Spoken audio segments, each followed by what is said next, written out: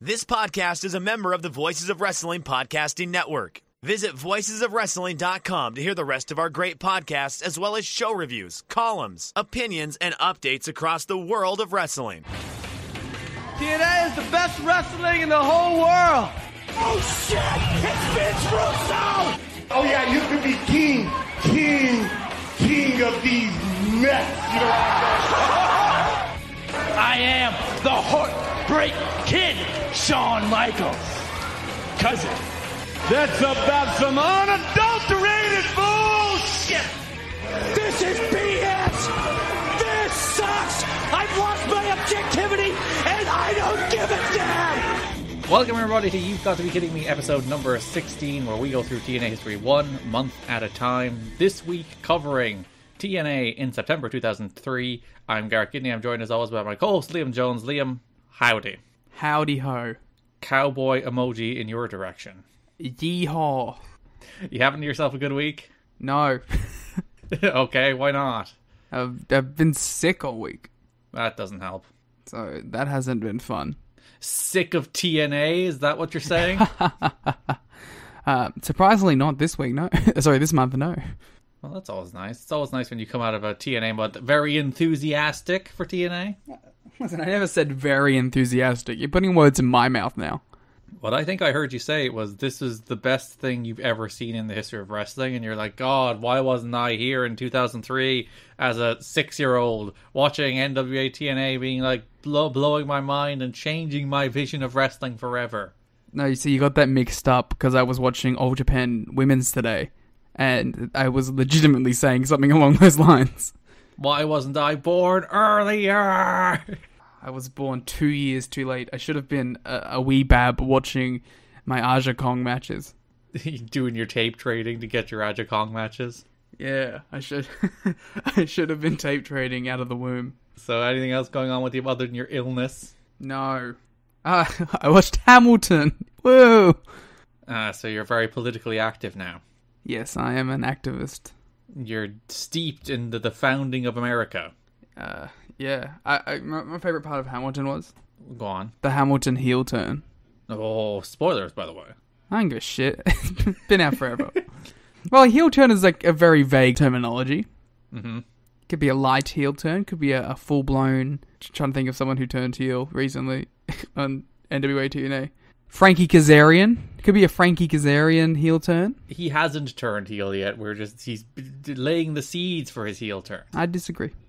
Okay. There's been a lot of big turns. A Trinity heel turn. ah, yes, the, the the ultimate heel turn, to- turning on Goldilocks, and Goldilocks hasn't been seen since. So I assume she's well. She's been broken hearted. I assume. Trinity probably killed her. Oh, no, I hope not. Just took her out. Jesus, that's brutal. Go- like Goldilocks came back just to get like bullied for one week, and then she left again. And then we forgot to mention that segment on the episode, and Goldilocks was so upset at that slight that she just said, "I'm not coming back." In 2003, she knew. She's like, in 19 years, though, some dudes are gonna sit on a podcast and ignore my segment. So what's even the point in doing it? Exactly.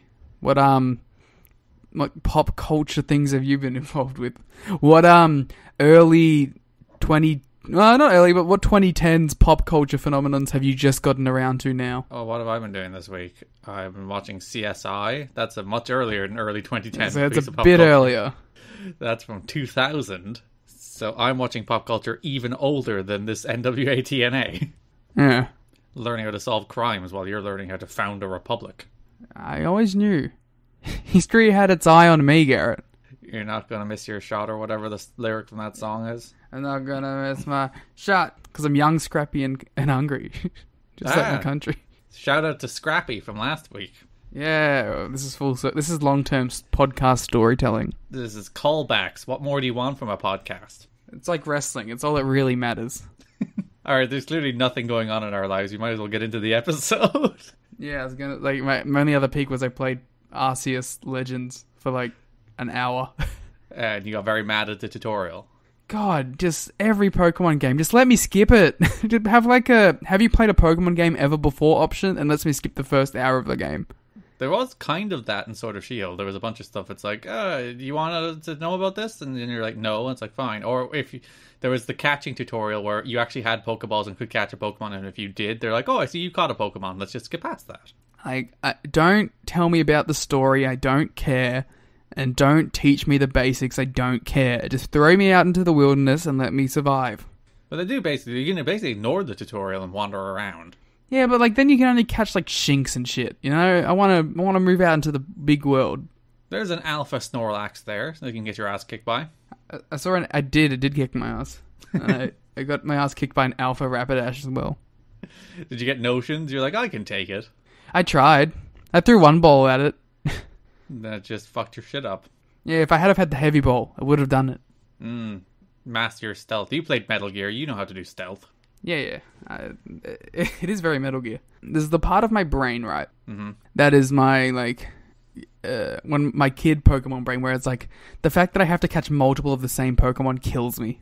Why? Cause I'm one and done, baby. I'm loyal. You can still only use the one and done. Yeah, but I don't want to catch twenty Bidoof. Who does not want to catch 20 Bidoof?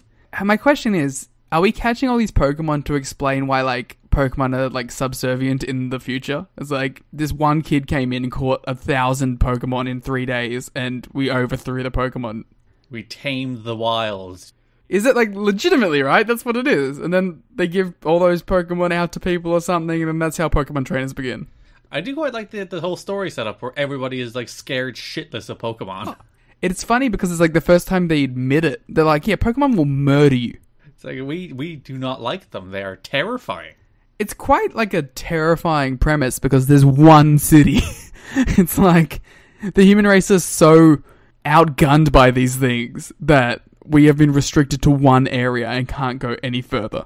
And anytime we go outside, we're absolutely horrified that we'll have interactions with these evil giant monsters that will fuck our shit up if we come across this alpha Snorlax. Yeah, um, I haven't seen any of the new forms that I hadn't already seen from trailers. Hmm. So I'm still looking forward to that. I picked Rowlet.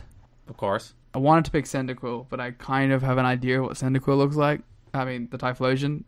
So I was like, I'll go with Rowlet then.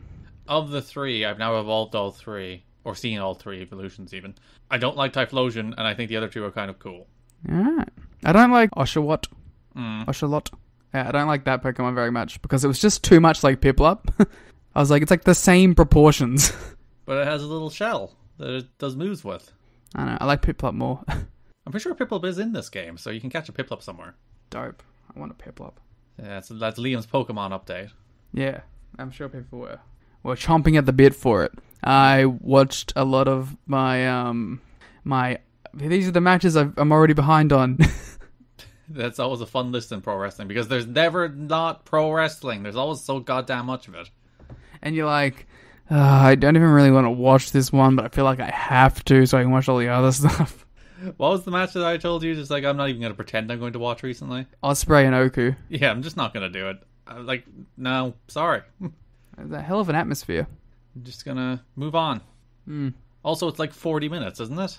It kind of flies though. Still.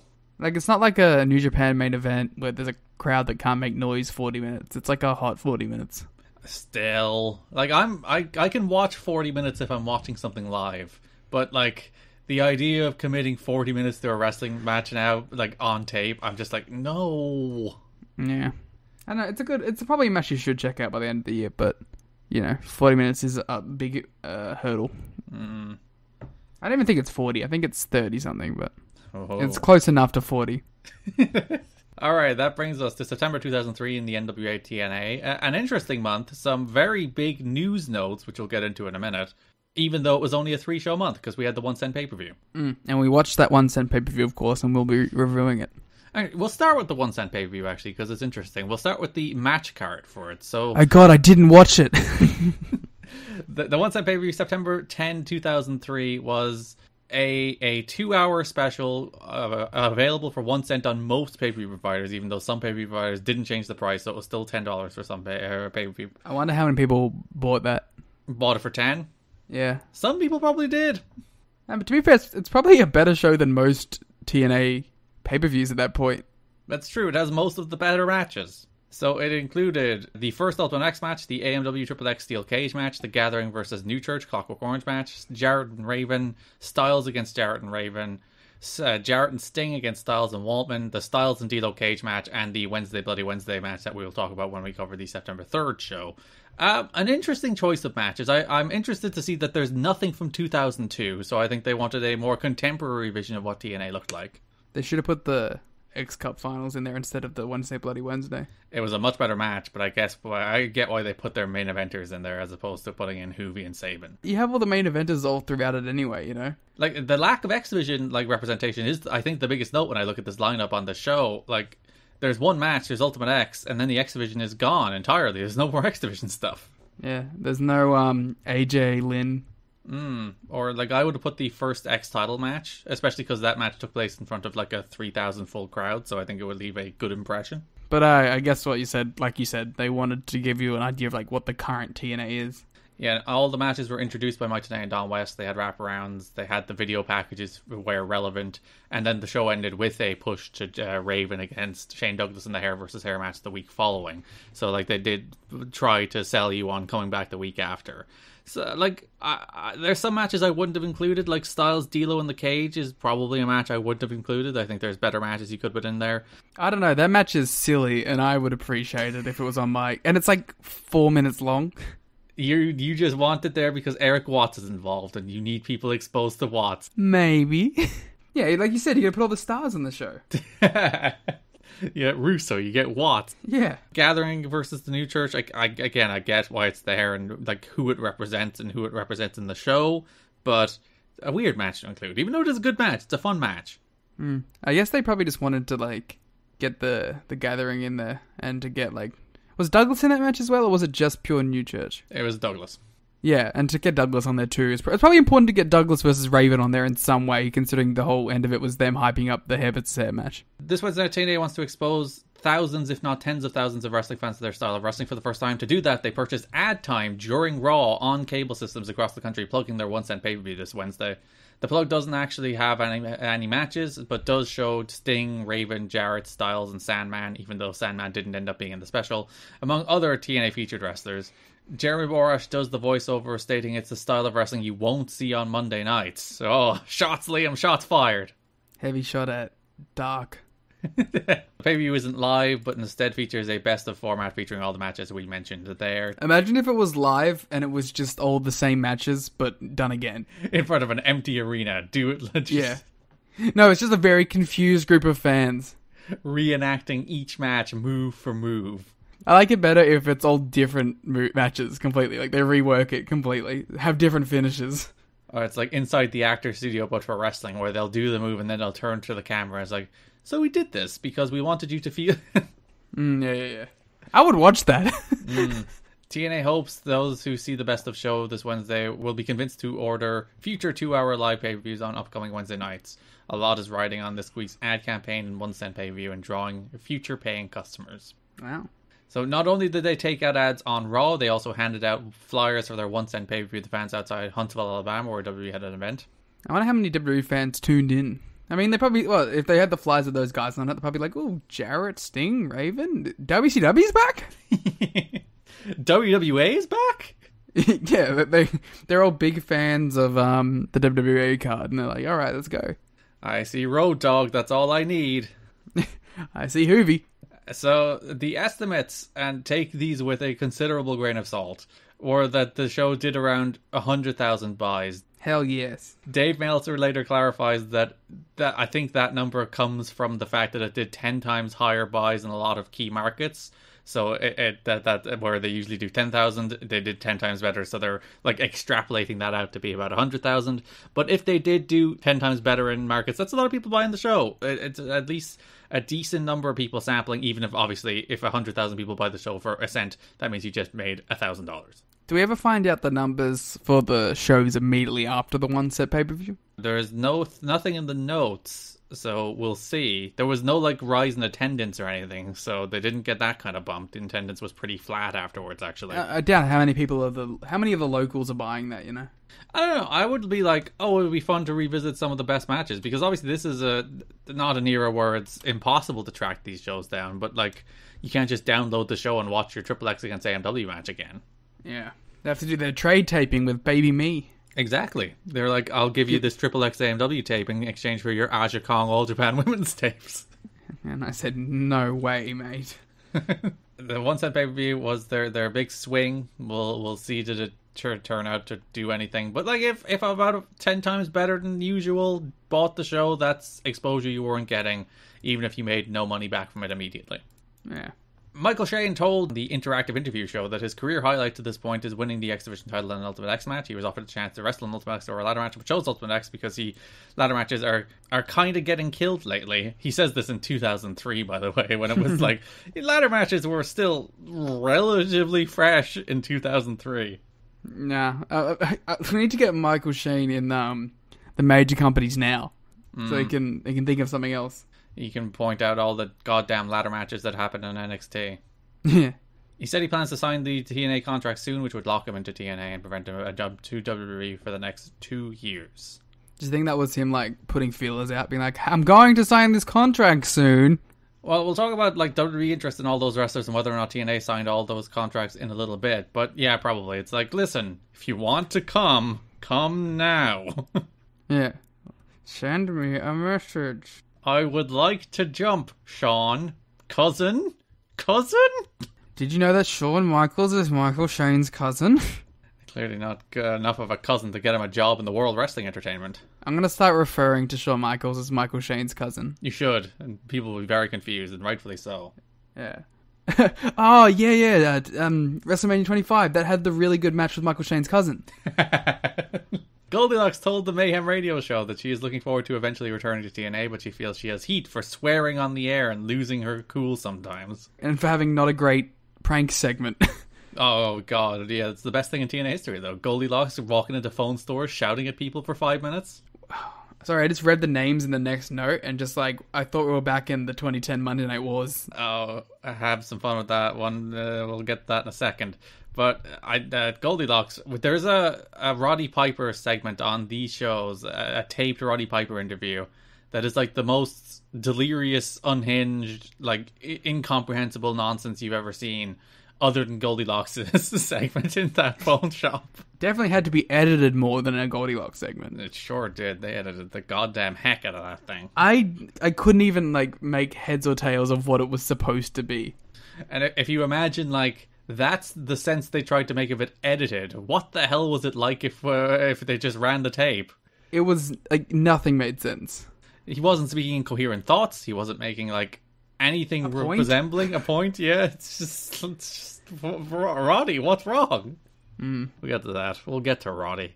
But speaking of Roddy, one of his career rivals, Liam Hulk Hogan. Bubba the Love Sponge. Oh, Hulk Hogan appeared on the Bubba the Love Sponge radio show in Florida and said that he spent some time talking with TNA officials about the possibility of working for the promotion. There is actually a good chance he will agree to make at least one appearance, although some sources consider the negotiations to be posturing on Hogan's part.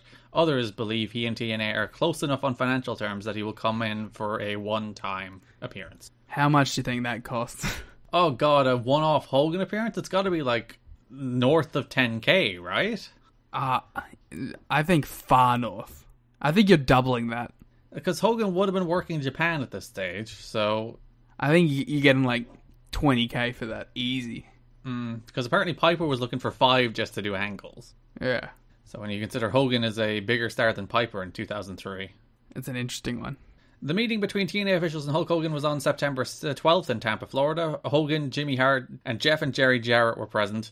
The hope is Hogan would get them a TV deal, which they still believe would be the best move for the long term solvency of the company. Jerry Jarrett's optimism that wrestling fans and the TV industry were ready for a pay per view weekly series has soured, especially because the pay per view distributor in demand has been, for the most part, so organized and unsupportive, despite early promises of the opposite. Unorganized and unsupportive. Oh yes, I said organized. It's the opposite. so they want Hogan, Liam. They want Hulk Hogan. Listen, I don't blame them. Mm-hmm. Obviously, like the biggest name in the history of the US wrestling scene. You, I mean, it's, it's 2003 has a lot of value still. Um, would pop a big number. Um, unfortunately, it'd probably just be some sort of Vince Russo segment. Well, we'll we'll get to that. He's currently suing Vince Russo for things that happened in WCW. So Mm, Maybe they keep them separate. Maybe that's one of those uh, random episodes where it's like, oh, Russo isn't here this week. because what was a Bash at the Beach 2000? That's the the the Hogan Jarrett segment where Jarrett laid down for Hogan. I'm not sure. I don't know WCW history. because that segment was a work shoot where where Jarrett was meant to be defending the belt against Hogan. Jarrett walked out, laid down for Hogan. Hogan looked flabbergasted. That's how it was supposed to play out. But then Vince Russo came out and cut a promo on Hogan, calling him a useless piece of shit, and Hogan was not best pleased, so he ended up suing them. I was gonna say because he had like creative control in his contract. Mm. So it's it's typical WCW where it was a worked shoot that worked itself into a shoot. No, well, to be fair, the work shoot didn't work itself into a shoot. It was the guy shooting mm. who just decided to do it. So uh, we'll talk about that in a second with our next note about the, how the, the the next thing we're going to talk about might be influenced by the fact that they are trying to get Hulk Hogan in.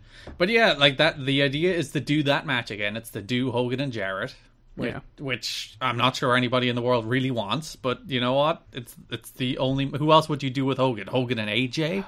yeah, like it makes no. Yeah, you do Jarrett and Hogan teaming up against Russo and AJ. I'd just book Hogan and Dusty. That was exactly what went through my mind after the words came out of my mouth. It's just like why not? Just book Hogan and Dusty. yeah, they're like Hogan, Hogan, Sting, and Raven versus Jarrett, AJ, and Russo. And Dusty. It, and Dusty's the special guest referee. And Erik Watts is chained to Russo Yeah, and Erik Watts is the enforcer. Russo Russo just has a Watts on his arm at all times, despite the fact that he's wrestling.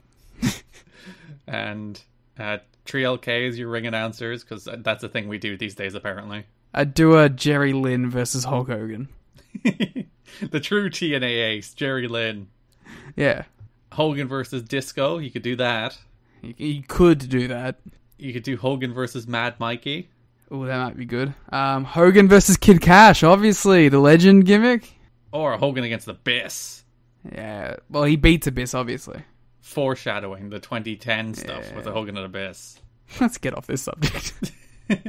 we will be talking about more about Hogan in the coming episodes of this show, and I'm sure you want to hear lots more about Hulk Hogan. I think I know what that's about. Yeah, well, this this story rolls on all the way to 2010. So, Dutch Mantell was hired as a TNA booker last week. Mantell worked as an agent at some of the early TNA shows. He left TNA and resumed focusing all of his attention toward booking the IWA promotion in Puerto Rico. Mantell was is heralded as the booking mind that took the IWA promotion from years of losing money to overtaking Carlos Colon's World Wrestling Council as the island's top promotion. Mantell's departure from IWA took the promotion by surprise, although he has agreed to continue working there as a part-time consultant. Basically, he was offered twice as much money, so he left. Yeah. So TNA sources say Dutch Mantell will have more power than fellow writers Vince Russo and Glenn Gilberti, although he will still answer to Jeff Jarrett. Russo and Gilberti were said to be surprised by the move, but the belief is that they will continue to work for the promotion in some capacity. I'm sure they were very pleased as always. They love more people coming in with power, but because it definitely doesn't dil- uh, dilute their power. Mm, not at all. We we know there's one thing we know, Liam, consistently in, in TNA history. It's that Vince Russo he works very well with other people. Yeah. He definitely isn't a fan of sabotage. There were rumblings going around that part of this was inspired by the fact that Russo was unwilling to sign a new contract, but that's unverified. Though that was just scuttlebutt. That's the sheets. Hmm. So the natural assumption of the wrestlers is that the move was made because Hogan is negotiating with TNA, and TNA officials know that Hogan will not want to work with Russo because of the incident between Russo and Hogan that caused Hogan to quit WCW and sue Time Warner over comments, Russo said on live pay per view. However, Mantell being brought in certainly isn't only because of the hopes of luring Hogan. Sources say the deal with Mantell has been in, wor- in the works for some time. Wrestlers recalled uh, seeing a Dutch at a TNA show several weeks ago. They say Mantell mostly kept to himself and took notes throughout the show. I would pay so much money for those notes. what do you think Dutch thinks of uh, what it- July or August TNA? Yeah, just want to see what he th- like his first thoughts of the promotion and like his immediate like this is what we need to change. Well, this month didn't see much in the way of Dutch influence by all accounts. He still was just uh, like getting his feet wet on the last show of the month, where he would have been like on board. Much like how I give Scott D'Amore credit for everything good, I'm now also going to equate the first terrific TNA month with Dutch Mantell. Well, to be fair, he had absolutely nothing to do with it. I'm giving it to full credit to Dutch Mantell. And honestly, the first two shows of this month I thought were great, and I thought the last one sucked. I didn't think the last one sucked. That show was terrible. If anything, the, the show where Dutch was on board for was a stark decline in quality from the two that preceded it. So I disagree with the last show. This this, this is what has thrown me. We'll argue about that more. So Dutch has joined TNA Creative. Cool. WWE showed last minute interest in signing Johnny Swinger, Simon Diamond, and Trinity earlier this week. WWE quickly found out that Trinity had signed a TNA contract several months ago, so those discussions broke down quickly. I like how there were discussions, and they're like, "Hey, Trinity, do you want to come?" And she's like, "Oh, well, maybe."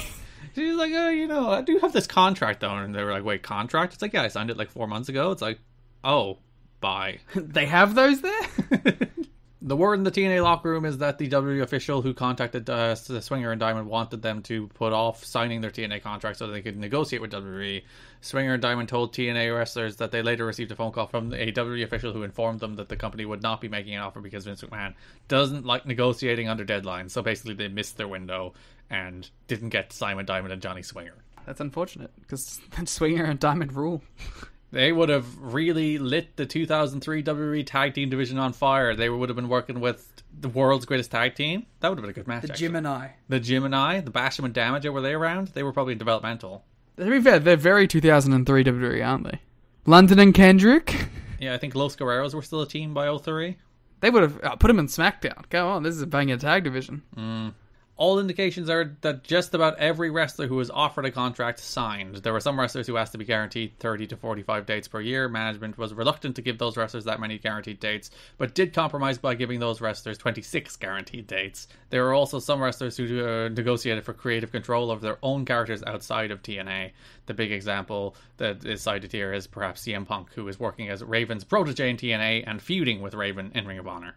And also, you know, a legitimate, like, top guy in ROH probably doesn't want to be uh, handcuffed by TNA's booking, which is something that they were trying to implement at the time. Yeah, I, I hope they were like, uh, you can't actually be booked as a top guy in Ring of Honor because you're actually only like a mid card guy here, so they have to book you as a mid card guy too. Yeah, can you tone it down, please, with the push? you're actually winning too much. We don't want people getting confused when they tune in to Do or Die. They'll think you're really good, so you need to lose more often. I actually got to check to see if Punk was even on Do or Die. I just picked a random ROH show that I could remember.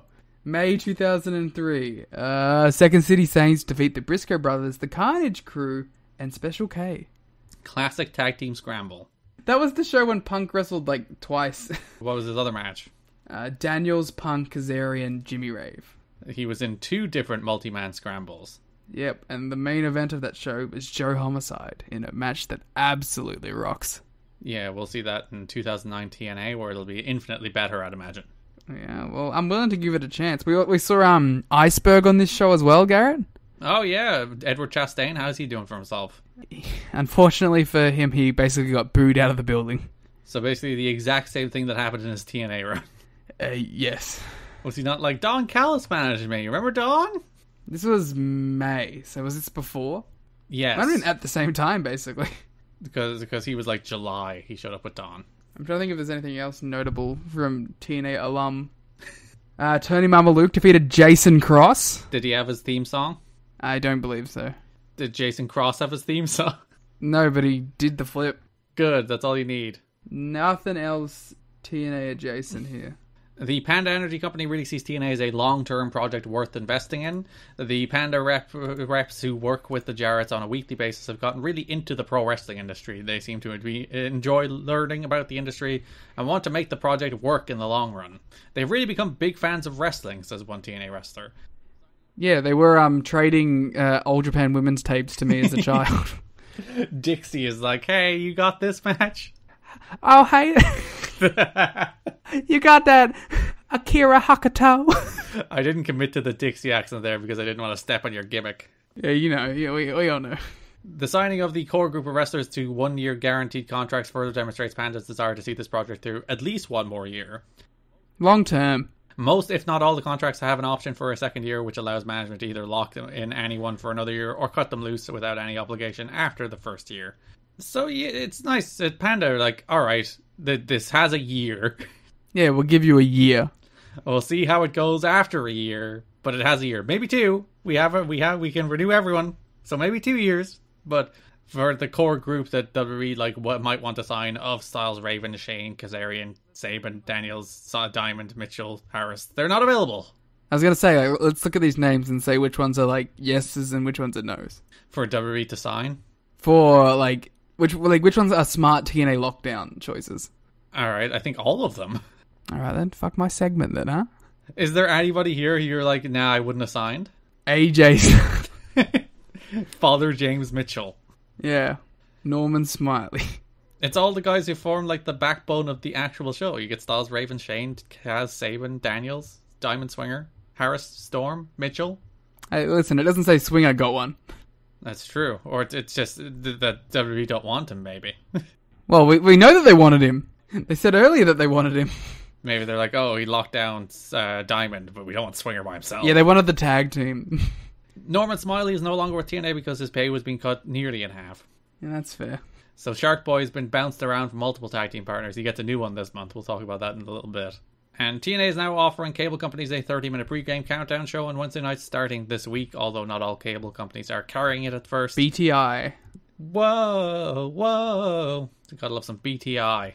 Before the internet. I'm trying to think what the I would stand for in 2003. Before the influx of bad wrestling that you're about to watch. How dare you. And interesting though, they're also going to be available on, on In Demand's high definition pay per view channel. Ooh. in 2003 so they those with high def tvs can take advantage of a better picture all these shows like the the archive version of these shows aren't available in high definition so i wonder where the hell those ever went Damn. If only we knew someone who could find that out. yeah there's no way of knowing So if only someone could inquire about where those high definition versions of these shows are. if they ever actually aired maybe it was still 4x3 it's just a very nice looking 4x3 Yeah. Well, I was gonna say, like, when I watch these shows on the 4K TV and not on like my computer or my phone, they do look way better. So maybe it's just me. all right that brings us to broad topics for the week let's start with the super x cup Cool. I want. This is great because um, it's my favorite thing in pro wrestling. ever Tournaments. you do love yourself a tournament They're the best. I love a tournament. So, NWA TNA pay per view number 61, September 3rd. TNA held the inaugural Super X Cup, which, as we mentioned, was taped in the last two weeks of August because this show, the, the National Fairgrounds, wasn't available for the first two weeks of September. So, they taped this show and they did the one cent pay per view on September 10th. This show, Liam, Super X Cup, your favorite show in TNA history? Yeah, it's probably right. So the tournament idea came from Scott D'Amore, Jeremy Borash, and Mike Tenay. Uh, this is from the Wrestling Observer, so the I is Dave Meltzer. I don't believe it was a group effort, but do know all had suggestions on how to do it. D'Amore was the agent in charge of the matches and was given free reign of it. He used it as a vehicle to prove that if you book good matches and just let them do regular finishes, people will enjoy it, as opposed to overbooking that the company has done a lot in the past. They went with the idea of all straight finishes with no run-ins, weapons, or cheating, except for the Lynn and Sabin finish. Tenay was the one who pushed Kazarian to get the win over Shane, so that he could lose in the semifinals and still come out as a title contender. Wow, I I I am beginning to be shocked, right? Mm-hmm. That Scott D'Amore Yeah, and Mike Tenay getting the book for a show led to the best show in company history. you mean these people who aren't embarrassed by pro wrestling and want pro wrestling to be anything other than pro wrestling ended up producing the best wrestling show TNA has ever put on? That's pretty crazy. And I gotta say, like the reason this show was went was like so good, obviously, because it started off with such a hot opener. Yeah, for some reason on the show that like they were so pressed for time. The show had like nine matches, and yet nonetheless they began the show with the the hot X Division style opener of Mad Mikey versus Laz. I was like, this is a weird first round match when this came out. I can only imagine that like because this is a taped show, maybe they mistimed it. I'm I'm guessing that this was like a dark match that they eventually did have it mistimed and they just had needed to fill the time with something. Yeah, so maybe it was taped for Explosion initially, as mentioned. It was a dark match, and they're just like, let's just put it on the show because we need to fill another three or four minutes. And like all the other dark matches that we have banked have people in the the tournament. Hmm. It was very strange because like the first round matches in this tournament are very short. They're all like four minute sprints. So I don't know. Maybe they did just mistime it because like this whole tournament basically takes like an hour ten minutes from like the the, the second Juvi and Nosawa get to the ring to the finish of the the finals takes about an hour ten, which is the the briskest tournament you'll ever see in your life. They just go bam bam bam match match match. Whoa, whoa, whoa, whoa, whoa! You haven't seen the Queen of the Ring. The who? The it's not called the Queen of the Ring. They gave it a stupid other name. Where like every match was like forty seconds. Where the entire tournament was like nineteen minutes. Yeah, that's true. that is the briskest tournament you'll have ever seen. that's right. But this was also a good tournament, so it does have that going for it. Wow. So yeah, this match, uh, the show opened with Laz against uh, Mad Mikey for some reason. Mad Mikey won. Um, Laz is an M- NWA Wildside guy. He's been doing a bunch of explosion matches. I don't appreciate this poor man's Bruce. Well, to be fair, at least he's doing the gay panic thing as a babyface as opposed to a heel. Does that make it Is better? he a babyface? He was well. Mad Mikey's a heel, so he's definitely a babyface. I don't think Mad Mikey's a heel. Mad Mikey's absolutely a heel. I don't think he's a heel. The whole crowd loves Mad Mikey. But like Mad Mikey's like the, he's getting mad and upset, and the crowd popped when like Laz did all the gay stereotype stuff as opposed to booing. But they always pop when they do the gay stereotype stuff. no, they usually shout slurs at him like they did with Bruce. Yeah, but they do that after they go, ah. Laz is the weirdest creator wrestler randomized option I've ever seen. He doesn't look real, does he? Yeah, that was it was like uncanny. It's just like, how are you a real person who wrestles? Yeah, it was pretty insane. I don't want to spend any more time on Mad Mikey versus Laz. I, I did actually, I did enjoy that Mad Mikey was upset that he had to wrestle a goof. I think that's a good bit. That he's like, look at this goof cartoon character. I have to wrestle him. Unlike Mad Mikey, the not goof cartoon. the very serious professional wrestler. Is very upset at having to wrestle this goof Laz. Uh, I did also enjoy Mike Tenay on commentary. It was really selling the fact that Mad Mikey stole his shoe and started beating himself up with it. He's like, I have never seen that before in my life. So we go backstage to a Dusty promo. I did quite enjoy Dusty being there to give the War Games credibility. Obviously, the creator of War Games, so he's putting over War Games, saying War Games a lot, even though it's not a War Games match. War games. It's a Wednesday Bloody Wednesday match, Liam. I like how they're like, ha, they can't sue us now. We got the show going, so let's just say war games throughout the entire time. There's a Dusty say War Games like 700 times in his promo. War games. We had our first round match in the Super X Cup tournament. Juventud Guerrera faced Nosawa. Ah, wow, chief strategy officer from GLEAT in action here. Is that what Nosawa's job title is in GLEAT? That's what it was. I don't believe he has that job title anymore. Oh, because he got the strategy wrong. yes. Well, no, I think he was like he was brought in. no one cares about this. I believe he was um brought in early in life, like just to help set everything up, and then he went like he was still doing his Noah job at the time, probably through the Abema connection. No, sorry, not the Abema connection, the um, LIDET connection. I think everybody cares about Nosawa's uh, be office roles through through wrestling history. One of the most powerful men in Japanese professional wrestling. Popping up here to lose to Juvi in a Super X Cup opening round match. Takagi, Gedo, Nosawa, the three most powerful men in Japanese professional wrestling at the moment. It really is the time. Like, it, it, if you were a, an indie scummer in Japan in the early 2000s, you're really blown up now. So Juvi wins here. The match was like three minutes. Nosawa has psychopathic records on the back of his gear base because he's ICP's Juggalo Championship Wrestling champion. Yeah, Nosawa was a big juggalo guy. Um, ha- obviously has the the Hatchet Man tattoo on the neck. Mm, and the crowd are actually chanting ICP at him. Yeah, um, he's, he was quite a popular like dude at the time. Um, was, I thought it was actually pretty cool to see Nosawa at this point in his career because um, he's very different to now, mm. and not even that like he wrestles at like a faster pace or anything. He just wrestles a completely different style because now um, No is more of like a lucha brawler that will bust out some some some faster stuff. But like here, he was very much like stalking and like big kicks. It kind of works like Tajiri. There's a real rad kick to the face in this match. Yeah, he did. He had some cool kicks. Yeah, I like Nosawa. I've always been a Nosawa fan.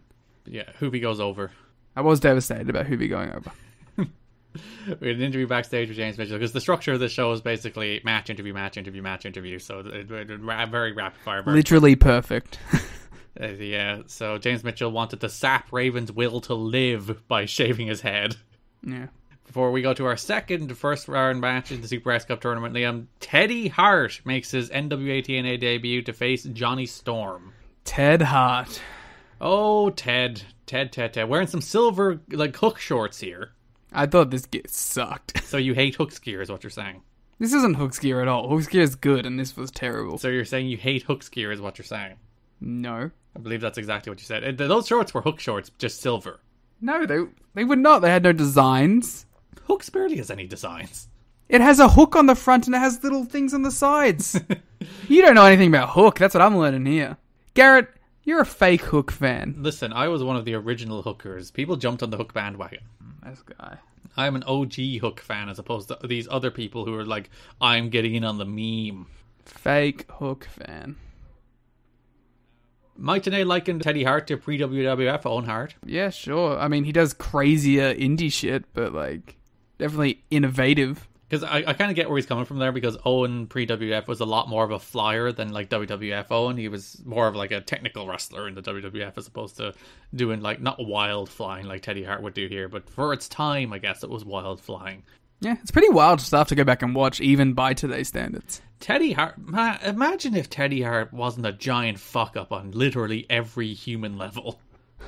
Yeah, he'd probably be like one of the best wrestlers of all time. Because legitimately, you watch him on the show, he has this match and then he has the match against Juvi, and he looks like a superstar. From like how he looks, like a physique, gear, how he works.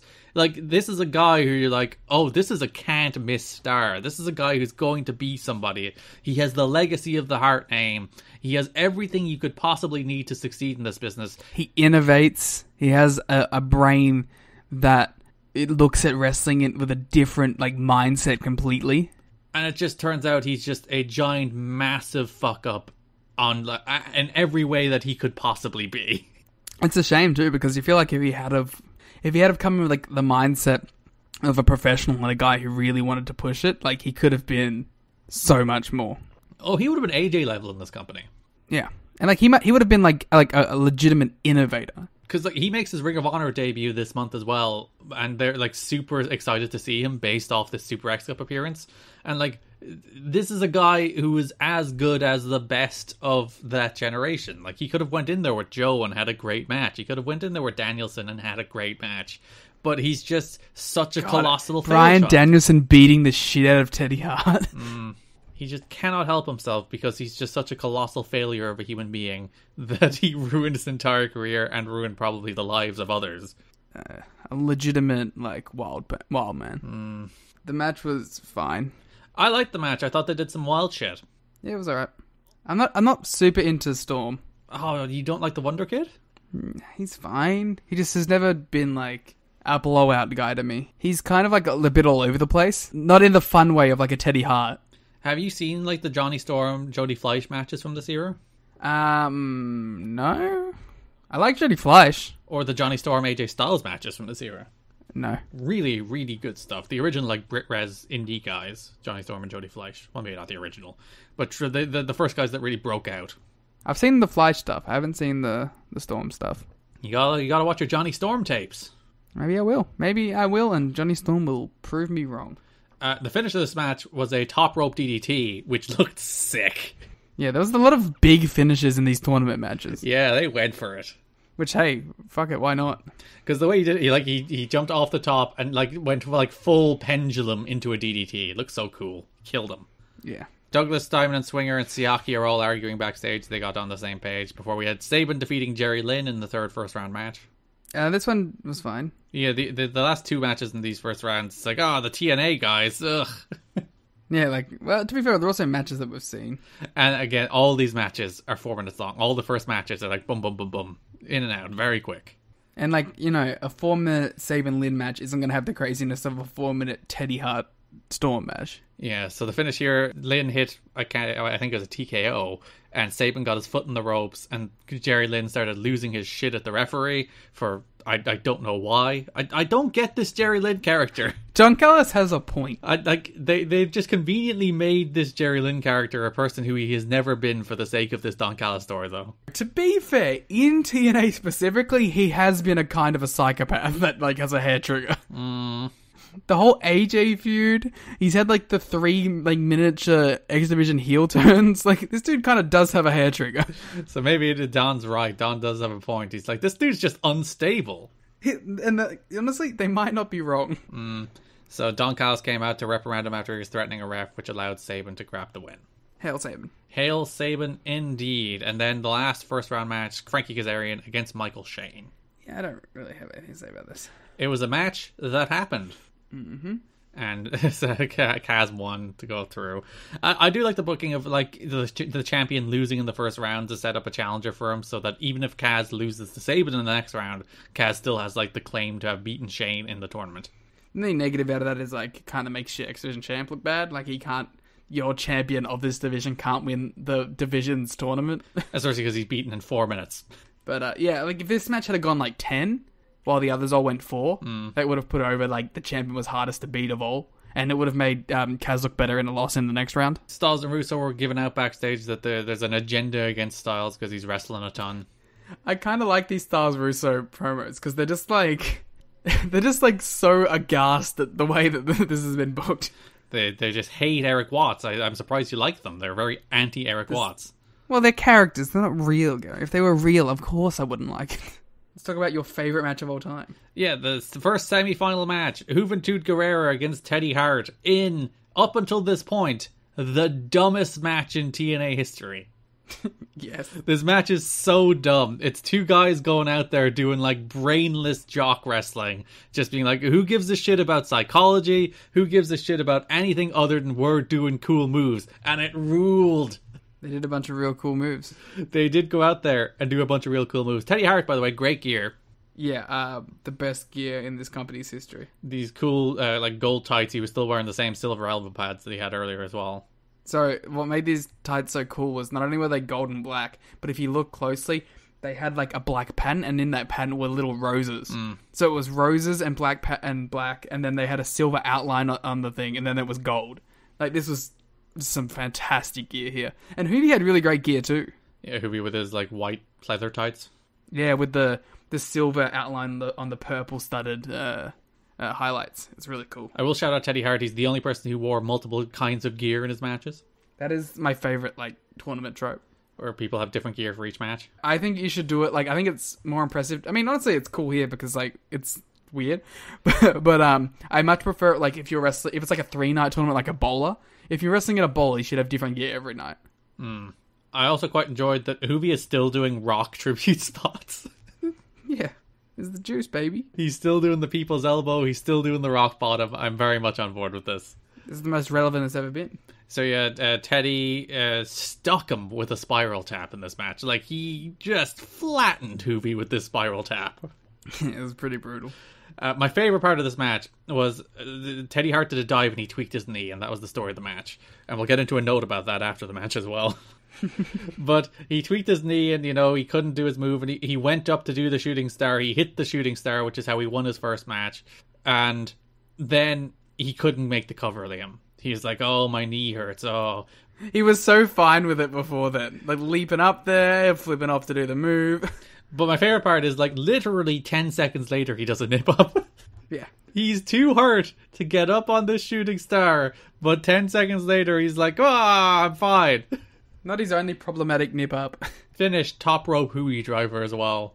Insanity, one of the coolest things that this show has ever done, like move wise. Dropped Teddy Hart right in his head off the top. Up there with the second rope Styles Clash. God, this match ruled. This match is like, I give this match four stars. It's so stupid. It's like two guys just doing the most brainless shit. This is a it's a big night for Juvi. Yeah, it is a very big night for Juvi. I think it's a big like comeback night for Juvi. A guy like in the WCW days, people were like Juvi and Ray are the two guys. You know, they're they're the two top luchadors who clearly are like have the highest ceiling, especially given how the young they were at the time. And then it worked out very well for Ray, and it never quite worked out for Juvi. And I think people are like, well, you know, he, he lets his demons, he lets his his personal issues get in front of him, and this was like a, a big comeback night for him, where he went out there and killed it. So Juvi advances to the finals of the Super X Cup. You're talking about what happened after the match? Oh yes, literally right after the three count. This is from the Wrestling Observer. Teddy Hart did a nip up and basically walked around the ring looking for cheers, selling uh, instead of selling a pretty hardcore finish. None of this will air on television, as they will show Guerrero outside the ring and celebrating. But people were amazed at Hart's lack of sense. Well, is it? I can see, I can understand Teddy Hart. I think because in his mind, the show ended as soon as that three count happened. Mm. Like he, the curtain went down, and this was his, this was him coming out to get his bow. Which he, of course, deserved. When when your character doesn't, when your character dies in a in a production, at the end you still get to come out and bow. And like his in his I in his mind, he saw this and he's like, yeah, okay, my part of the show's over now. But, like, he was trained by the Harts. Oh, obviously, not as brutally as other people were. Like, he knows that's not how wrestling works. Like, there was once a an episode of Raw that ended with Chris Jericho being knocked out by a knockout punch, and Jericho lied in the ring until everybody left. Well, to be fair, that's a bit. He did. He sold the move until everybody had left the building. Like that's, That's how pro wrestlers funniest. work. They're ridiculous human beings who like commit to their bits to an extreme degree. They they do not break kayfabe. So like he he was raised by the kind of people who should have taught him things like that. Just born different. He was Teddy Hart, born different. in many different ways. So your other semifinal match, we had an interrogator segment with the red shirts. They they like Don Callis. They're very mad about things. Same. And our, our second semifinal, Frankie Kazarian against Chris Sabin, where Sabin won to advance to the finals. And maybe their best match because they just went out there and went straight to doing shit. Yeah, this was just they just did spots and it was cool. Because like like maybe they should just work a million miles an hour every time Man, the X Division story. instead of trying to work holds or, or do something else or, or, or build. Just go out there and do shit. That's what people want out of you. Hmm. Same one with a muscle buster that he calls the Back to the Future. Everyone's got a move called Back to the Future. Well, particularly Chris Sabin and Frankie Kazarian have moves hmm. called and Back to the Kushida. A lot of people love frickin' Back to the Future. It's a good movie, but I don't know why people love it that much. I have definitely seen it. Have you not seen Back to the Future? I have seen Back to the Future. Have you actually? Yeah, I've seen it. Or are you, are you saying that so I won't shout at you? No, I've seen it. Have you seen Back to the Future 2? No. Ah. Ted Hart versus Juventud got a four and a quarter from Dave. Damn right. That's the most Dave ass match that's ever existed. like, for all the things people say about Dave, like, he cares about, like, technical execution of things more than anything. Borden likes psychology. But he also loves some dumb shit. Yeah, like he doesn't care about psychology. He doesn't care about like emotion. Like just people doing things technically well is the thing that like pops him more than anything, which is I think the reason he loves modern wrestling more than anything. And like that Teddy against Juvi match is like the definition of it.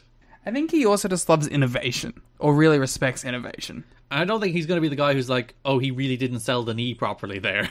Yeah. Or he'll mention it, but like it won't be a game breaker for him. Like, yeah, that's not who Dave is. That's not who he has ever been as a critic. Because if you read like Dave's reviews of matches, he never reviews matches. He does walls of hmm. text of what happened and then slaps a star in it. Dave will never tell you why he liked a match. He yeah he he, he breaks it down to like the move by move. It's because that's how he thinks about wrestling, It's not emotion for him. which is wild because that's what the entire da- goddamn sport is. But that's that's what he likes. He just breaks down move by move rating. Which is fascinating that that then made him the preeminent critic in the, the entire genre. but alas, here we are. We go backstage. Oh no, did we had the final first? We had the final first. So yeah, poor um, Chris Sabin went out there, had the match against Kazarian, and then went straight back out to have the main event against Juvi. No, he probably had this on another taping. That's true. He- I think they did, but still. Super X Cup final: Juventud Guerrera versus Chris Sabin, and for me, maybe the best match in TNA history so far. I like the cage match more. Mm, they're they're both up there as like one and two for me, and then the the first X title match I think is is the other one that I think I think this blows the first X title match away. you're a hater of Jerry Lynn though. That's well known. Nah, true. So, the, well, you gave this three and the three quarters first, so don't you tell me No, about what no, blows things No, away. I didn't. No, I didn't. Don't you come out Don't- here and tell me about Ah. what matches are good or bad when you gave this three and three quarters. I gave this four and a quarter. I don't know what you're talking about. Yeah, you do. Don't you think I don't see your revised star ratings? Or well, you, I didn't. You told me about it, but No, I, I've learned to never tell you anything. that's true. You shouldn't. I'll expose you. This was great. This felt like a best of the Super Juniors finals. I I love the way they worked this match in that it was the most, I think, counter focused match I've ever seen. Or like the crux of this match is that these two dudes keep on countering each other.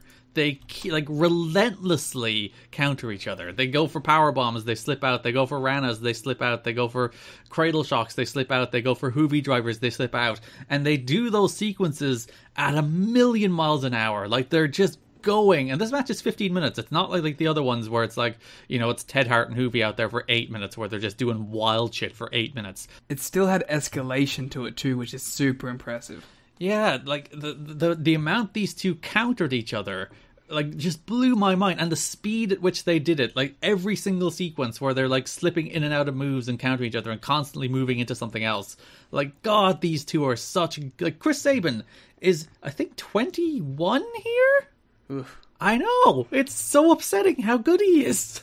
I think this is really interesting too because they managed to get the feel and the emotion of a 25 minute epic and like condense it to 15 minutes. which i think is what everybody should strive to do Probably. Um, Dave gave this four and a half. damn right right in line with me good job dave you are correct Yeah, this is fantastic. This is one of those matches that you like. Listen to our recommendations. Uh, go see this one. there's also like just just the head droppiest of head drops in this match There's a couple of them. or Juvi does a tiger driver and drops Chris Sabin right on his head. Like there's there there's no like oh it's on his neck. He's like it's literally picks him up top of his head. I don't know how he didn't die.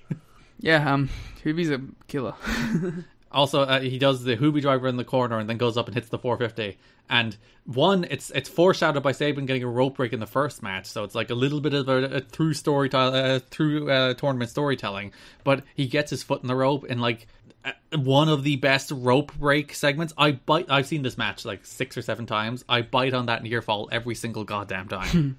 it's just fantastic wrestling. two phenomenal pro wrestlers, two people who are just tremendous at their craft. And like Juvi's, I think Mike Tenay's 28 here, so he's like he's not a particularly young man anymore, but he's still a guy who has like just years ahead of him if he was really like on top of things, which unfortunately he's not for a variety of reasons because he's Hoovy.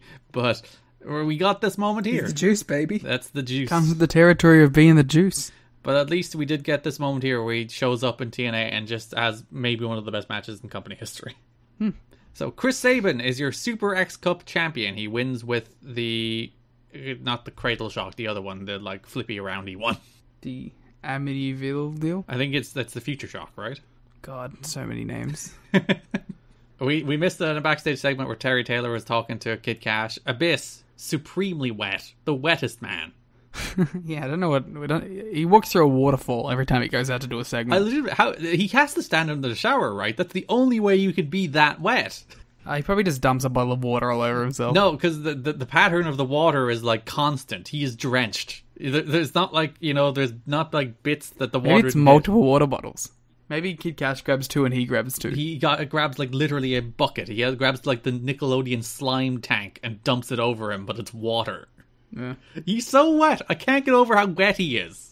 And because he wears that like blue vest, you can see how wet he is because like eh, th- th- there's different colors of it. It's like the wet color and the slightly dry color at the end. and it doesn't go away. It doesn't. The man loves being wet. He enjoys the wet, being the wettest human being. Wet day, bloody wet stay. Yeah, so that's our Super X Cup. But the main event of the Super X Cup show was the first War Games in TNA history, the Wednesday Bloody Wednesday cage match, in which D'Lo Brown, Jeff Jarrett, Raven, and AMW faced the phenomenal AJ Styles, Christopher Daniels, Shane Douglas, Simon Diamond, and Johnny Swinger. I have nothing to say about this. I thought it was well worked at times and boringly worked at others because the, the reason these matches fail is when guys come out and they do nothing. So you have the 90 second interval, if people somebody comes out and nothing happens. They don't set up a sequence of spots, they don't set up a sequence of like things that are memorable. They, uh, just another person comes out and they do some brawling until somebody else comes out. But there are periods where like people came out and stuff happened and I did quite enjoy that. I have nothing to say about this match. There was like a lot going on in this match, like not in the match, like around the match, I have nothing to say about this match. because you had like Dusty as the keeper of the key, you had Watts at ringside, you had Don Callis at ringside, you had Russo at ringside, Callis was on commentary. Then for some reason, like Erik Watts's like, oh, this match is so violent that we can't have ring attendants or ring announcers, so we're bringing out three live crew to serve the role of ring attendant and ring announcer and uh, other such roles. I have nothing to say about this match. Harris absolutely killed AJ with a spear. Chris Harris's spear. I'm saying it every single episode. Everyone's like, oh, Roman Reigns spear and Goldberg spear. It's like they got nothing on Chris Harris's spear. They got nothing on Jerry Lynn's spear. Damn right. The, the spear kings in the NWA TNA. Not, none of these WWE nerds. I have nothing to say about this match. Uh, and the last thing I will say about this match, before you have nothing to say about this match, Chris Harris hit a spinning catatonic on AJ. Where, you know, usually he just does a regular catatonic, but he did like two rotations, he did like two spins, and then catatonic them. looked so cool. I have nothing to say about this match. Uh, so Jarrett and D or D'Lo and Harris even went up top. D'Lo hit a frog splash, Harris hit a leg drop, and then Jarrett pinned. I think it was Styles to score the win.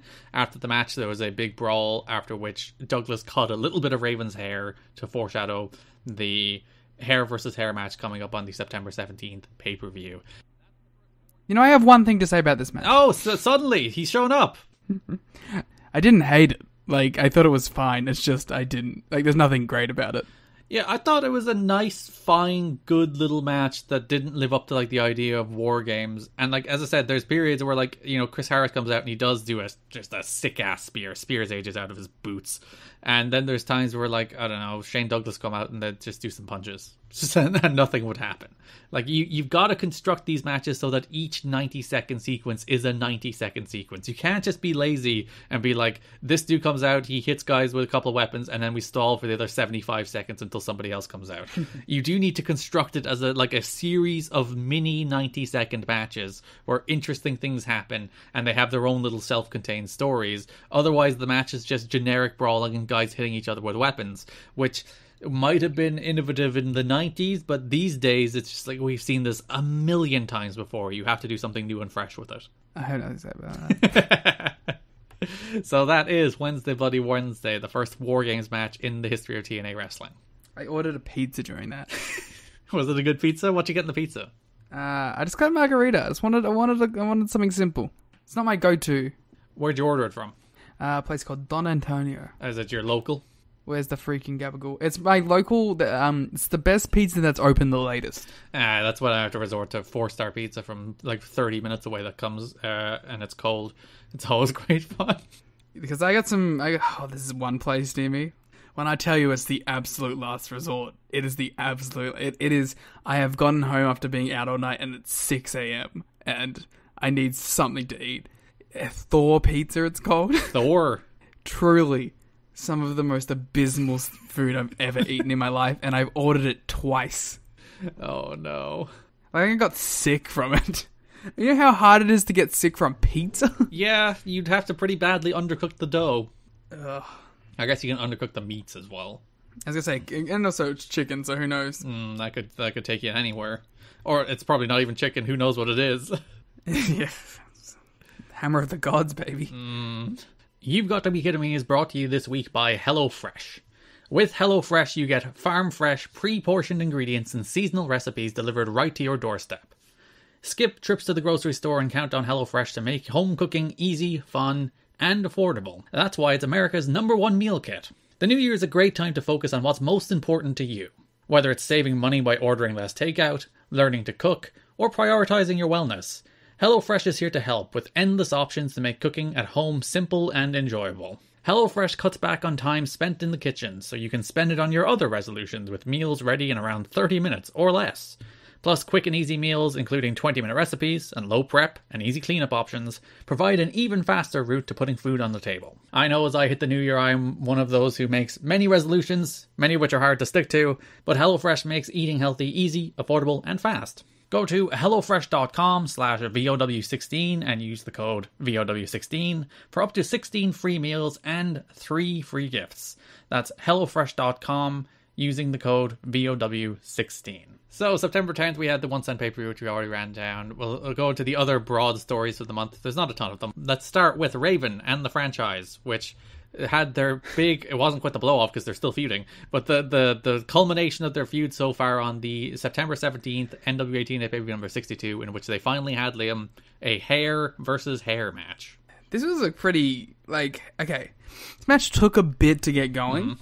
but by the end of it, I was like, yeah, this rocked. So yeah, it's it's a very much a Raven and Shane Douglas match where it's like two guys kind of doing plodding, brawling around ringside. Like Shane Douglas is never going to blow your mind with a series of sequences you've never seen before.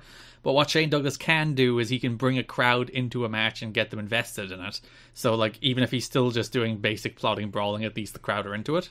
Yeah, And obviously, I think Raven's having a tremendous run as a babyface. I think he's like maybe at the peak of his career as a worker at this stage. ever since he made that change, he's been killing. Mm. He's just like legitimately good. Yeah, I've really enjoyed um, that switch, and like I think even just before it, because I really enjoyed the Jarrett match as well. But he's been like firing on all cylinders. We must mention Liam. Ah. okay, before we mention the incident, Uh huh. I, I, want to give Shane Douglas some credit here Okay. because my man he rolled with the punches, He really did. and he honestly post the incident, it might have been the best work of the match. so fair play to the dude for keeping going and then like tearing it up another level. So this match is like 15 minutes long. Like like halfway through, Shane Douglas is leaning against the ropes and he throws up. he just a little bit of vomit leaves his mouth, and then he moves over to Raven, and a little bit more vomit leaves his mouth. And then him and Raven do a little sequence that ends him with him being like kicked by Raven, and he turns around and a large amount of vomit leaves his mouth. And like a dark viscous. It's a weird like texture to it, isn't it? Yeah, it's rough. Because it's it's not like chunks or anything. It's literally straight liquid coming out of his uh, mouth. Yeah. this gross yellow liquid, just like. it's the fact that he throws up in three stages as well. Like there's the little bit of vomit, the second little bit of vomit, and then the third lot of vomit. It's just like there's a, an escalating series of vomit from Shane Douglas here. Yeah. Um, we should mention too that this was the the show that we did the live reaction to. So if you want to see the live reaction to this, And I set it up for Liam where it's like I was like, "This is a big Shane Douglas match," and Liam was like, "Why?" And it's like, "Oh, you'll see." and I was like, oh, maybe he delivers performance of a lifetime. no, he just gawks in the middle of the ring. Ugh. I will say credit to Mike Tenay, the proest of pros, who's like, "That's how physical this match is. That's how like intense this rivalry is." They don't know sell. They don't pretend the man didn't just vomit in the middle of the ring. They they presented the vomit as like this is the true escalation of this story beat. rivalry. Yeah. Uh, yeah, you know, I don't blame him. Like, shit's probably crazy at the moment. But I, again, like, hey, he brought the match back after this, so I can't be too mad at the guy. To be fair, we don't know that it wasn't worked vomit. Yeah, it might have been worked vomit. It didn't look like real vomit. It might have been might have been worked vomit. Or it might have been real vomit, but he can just be one of those people who can trigger himself to throw up at any time. So he's like, let's work it into the angle, baby. he's got a puke. Uh, we don't have worked vomit. We have obviously blood is the big thing in wrestling, but like someone throwing up is is like it is a visceral indication of how intense a match is. Yeah, someone should take that. Someone should. I heard Okada next t- dome main event. Fifty six minutes in should throw up. Wrist control. He grabs the wrist. He turns the other direction. It's like, "Ugh." He does the he put does the rainmaker, pulls him out as he comes in. He just throws up on them. or instead of doing like mist, somebody should do vomit in the face. Ugh, that's just disgusting. Remember when like they did the hour draw with Omega and Okada, mm-hmm. and Omega dodged the rainmaker by like just falling and collapsing to, due to exhaustion? yeah, How much more impactful would that have been if Omega just threw up, and threw up in three different stages like franchise did. dodging every rainmaker by throwing up? You see, he throws up in front of Okada, and Okada slips in the vomit and then misses the rainmaker. he throws up in front of Okada, then Okada gets sick and throws up. and it's just an escalating series of vomit. Oh, what if Raven was a guy who throws up when he sees throw up? Uh, All right, let's get off the throwing up. thing. So finish. They go up top. Raven hits a gnarly looking Raven effect off the top rope through a table. yeah, And Shane Douglas took, what a finish, huh? takes takes a nasty bump. Well, it's, not the finish because Raven goes for the cover. One, two. Technically, franchise kicks out, but lights go out.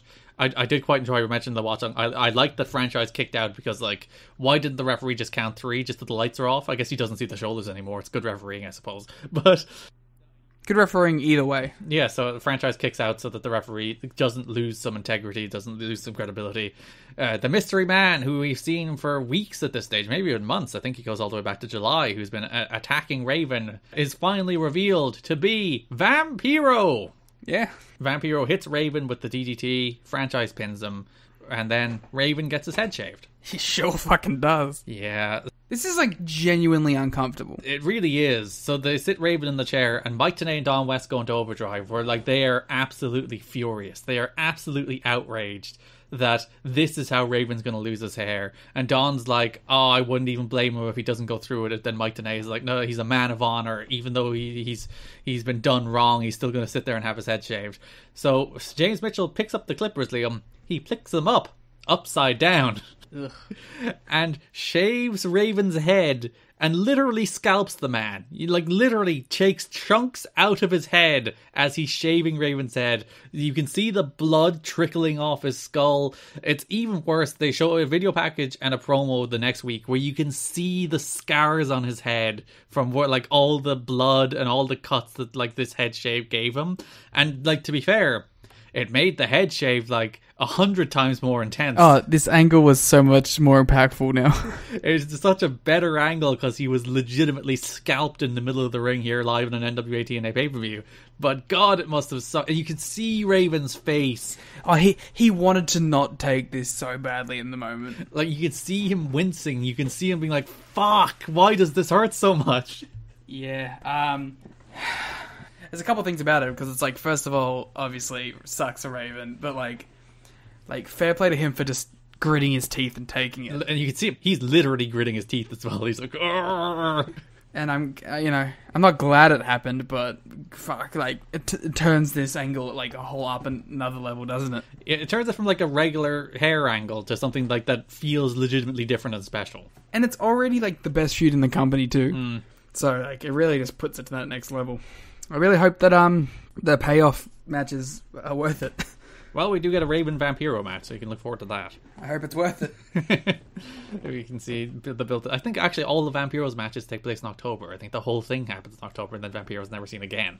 So That makes sense. It's the spookiest month of the year. it is. You have to do the spooky Raven Vampiro month all through the month of October. Uh, yeah. Uh, this match is crazy. Yeah, you get the vomit, you get the top rope DDT, you get the actual legitimate scalping of Raven. You get Vampiro. Vampiro's there too, I guess. Yeah, um, I, I haven't honestly, I haven't seen enough Vampiro to get super excited for this. But his Pentagon match was like almost legitimately like a perfect match. So Yeah, Vampiro uh, is a good worker in his day. I liked Vampiro in WCW, even if a lot of what he did in WCW wasn't very good. yeah, I'll, I'm excited to give this a shot.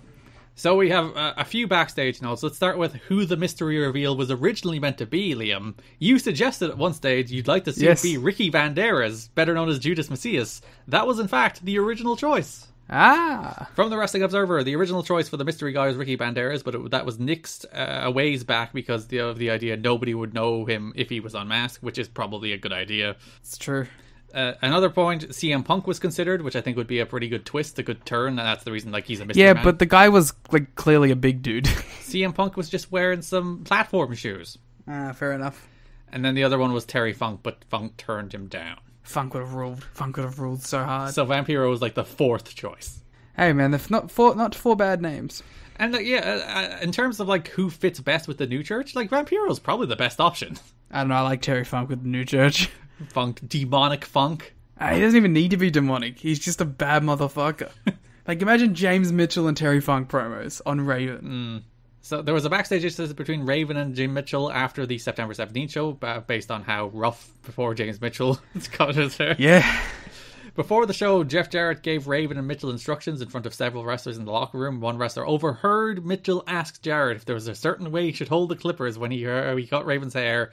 Jarrett told him to simply press down until the hair started coming off. However, Mitchell held the clippers the wrong way and left Raven's scalp a bloody mess. When Raven got backstage, Mitchell approached him to apologize. Raven took a swing at Mitchell, although observers say it looked as if Raven thought better of punching Mitchell and actually pulled the punch. Raven yelled at Mitchell, but they made up the next day. I'm glad. Uh, probably because Raven's like, oh yeah, fuck yeah, it's actually a great angle, isn't it?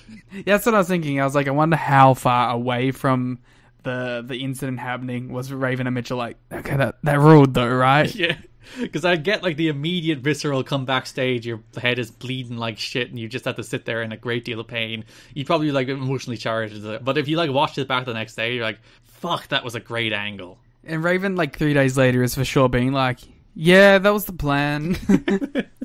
And like you can see them being sat down, and uh, Raven sat down, and they show him in the mirror, and you can see like behind him with like Douglas and everybody like, cackling with glee at how they've shaved Raven's head, and Raven's looking at his his changed visage, and God, it, it's it's it's good. That's pro, that's pro wrestling, Liam. That's pro wrestling. like it's the perfect mix of like real emotion, real violence, and camp, which is like perfect pro wrestling. And also, like, shout out to Raven. My man looks handsome with a shaved head. He does. He looks well. So he he really won out in the long run with all this. He got the big payoff for shaving his head too. So yeah, my man uh did great. NWA TNA pay number 63, the feud continued. We had a backstage interview. Uh, actually, no, we, sh- we had a show opening promo from Raven where he was like, sometimes you lose matches and you, you, you know, you feel bad. It, it affects your emotional psyche, but there's not actual physical loss. Whereas here, there is physical loss. And every time I look at my reflection, every time I look in the mirror and see myself, I feel shame. And, you know, it, it, he did a good job of trying to sell the fact that this is actually uh, an emotional thing for him. Yeah, that's why I think hair versus hair matches always do well. It's because like there's like real, res- actual something comes from this. Like it's not just a, a feud that we th- forget about six months later. It's like real consequences. The person looks different for months on television until their hair grows back. Yeah. As you said, he looks pretty good with his head shaved, except for the fact that if you look closely, you can actually see the scars of the scalping. It looks, To be fair, I think that actually makes it look sicker. it looks so gross. he looks cool as shit. And then the main event of this show, I think we had a Mitchell promo on the show at one stage as well, where he gloated about it. But the main event of the show was uh, the gathering against uh, Shane Douglas and the New Church in a dog collar match. Yeah, I, f- I felt like why are we doing this a little bit? You know, Well, it was to get to the Vampiro angle, but I don't know. I feel like you could have just done like New Church without Raven and Douglas. You know. Mm. so yeah, the, the Ray. I don't know how this match ended. I couldn't tell you. Yeah, I don't. Um, Julio won like randomly. because Raven and Douglas were brawling on the floor.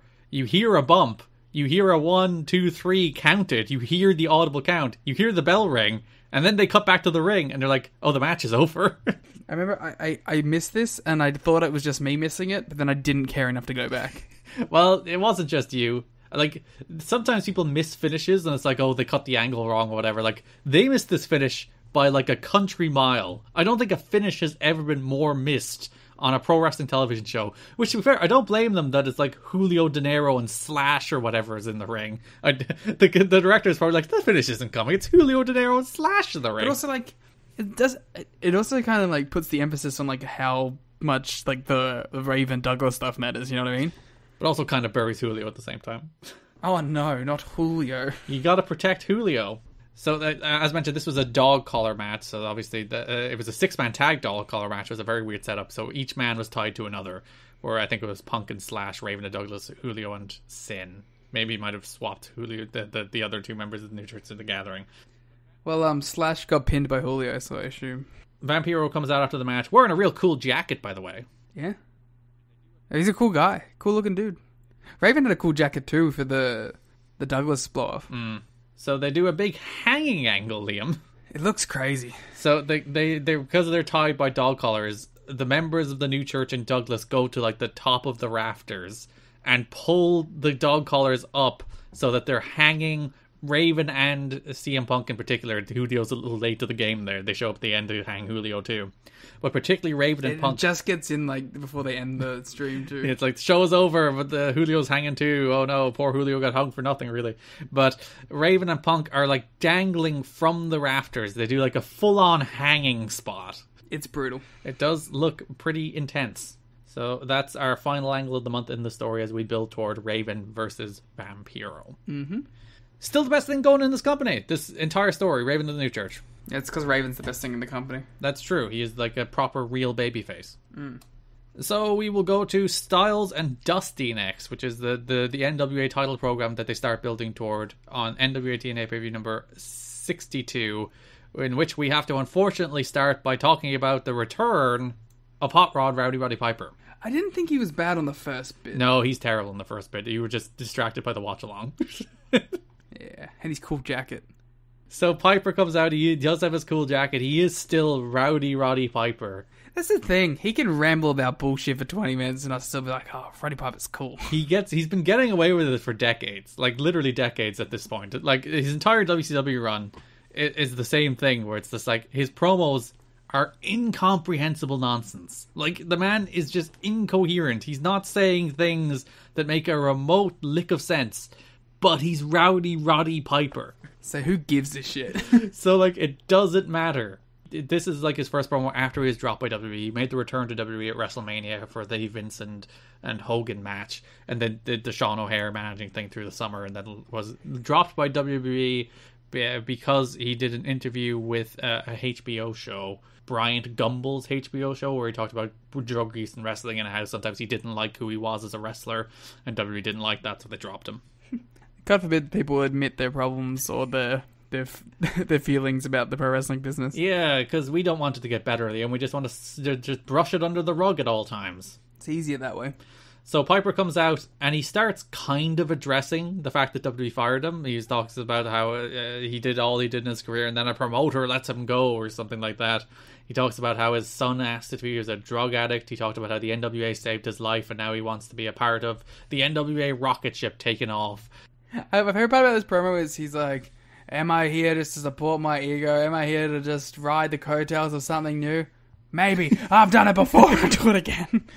Uh, again, you admire the honesty. He's like, "Yeah, I, you know, maybe I am using this just to pump my name out again. I've done it before, and I'll do it again."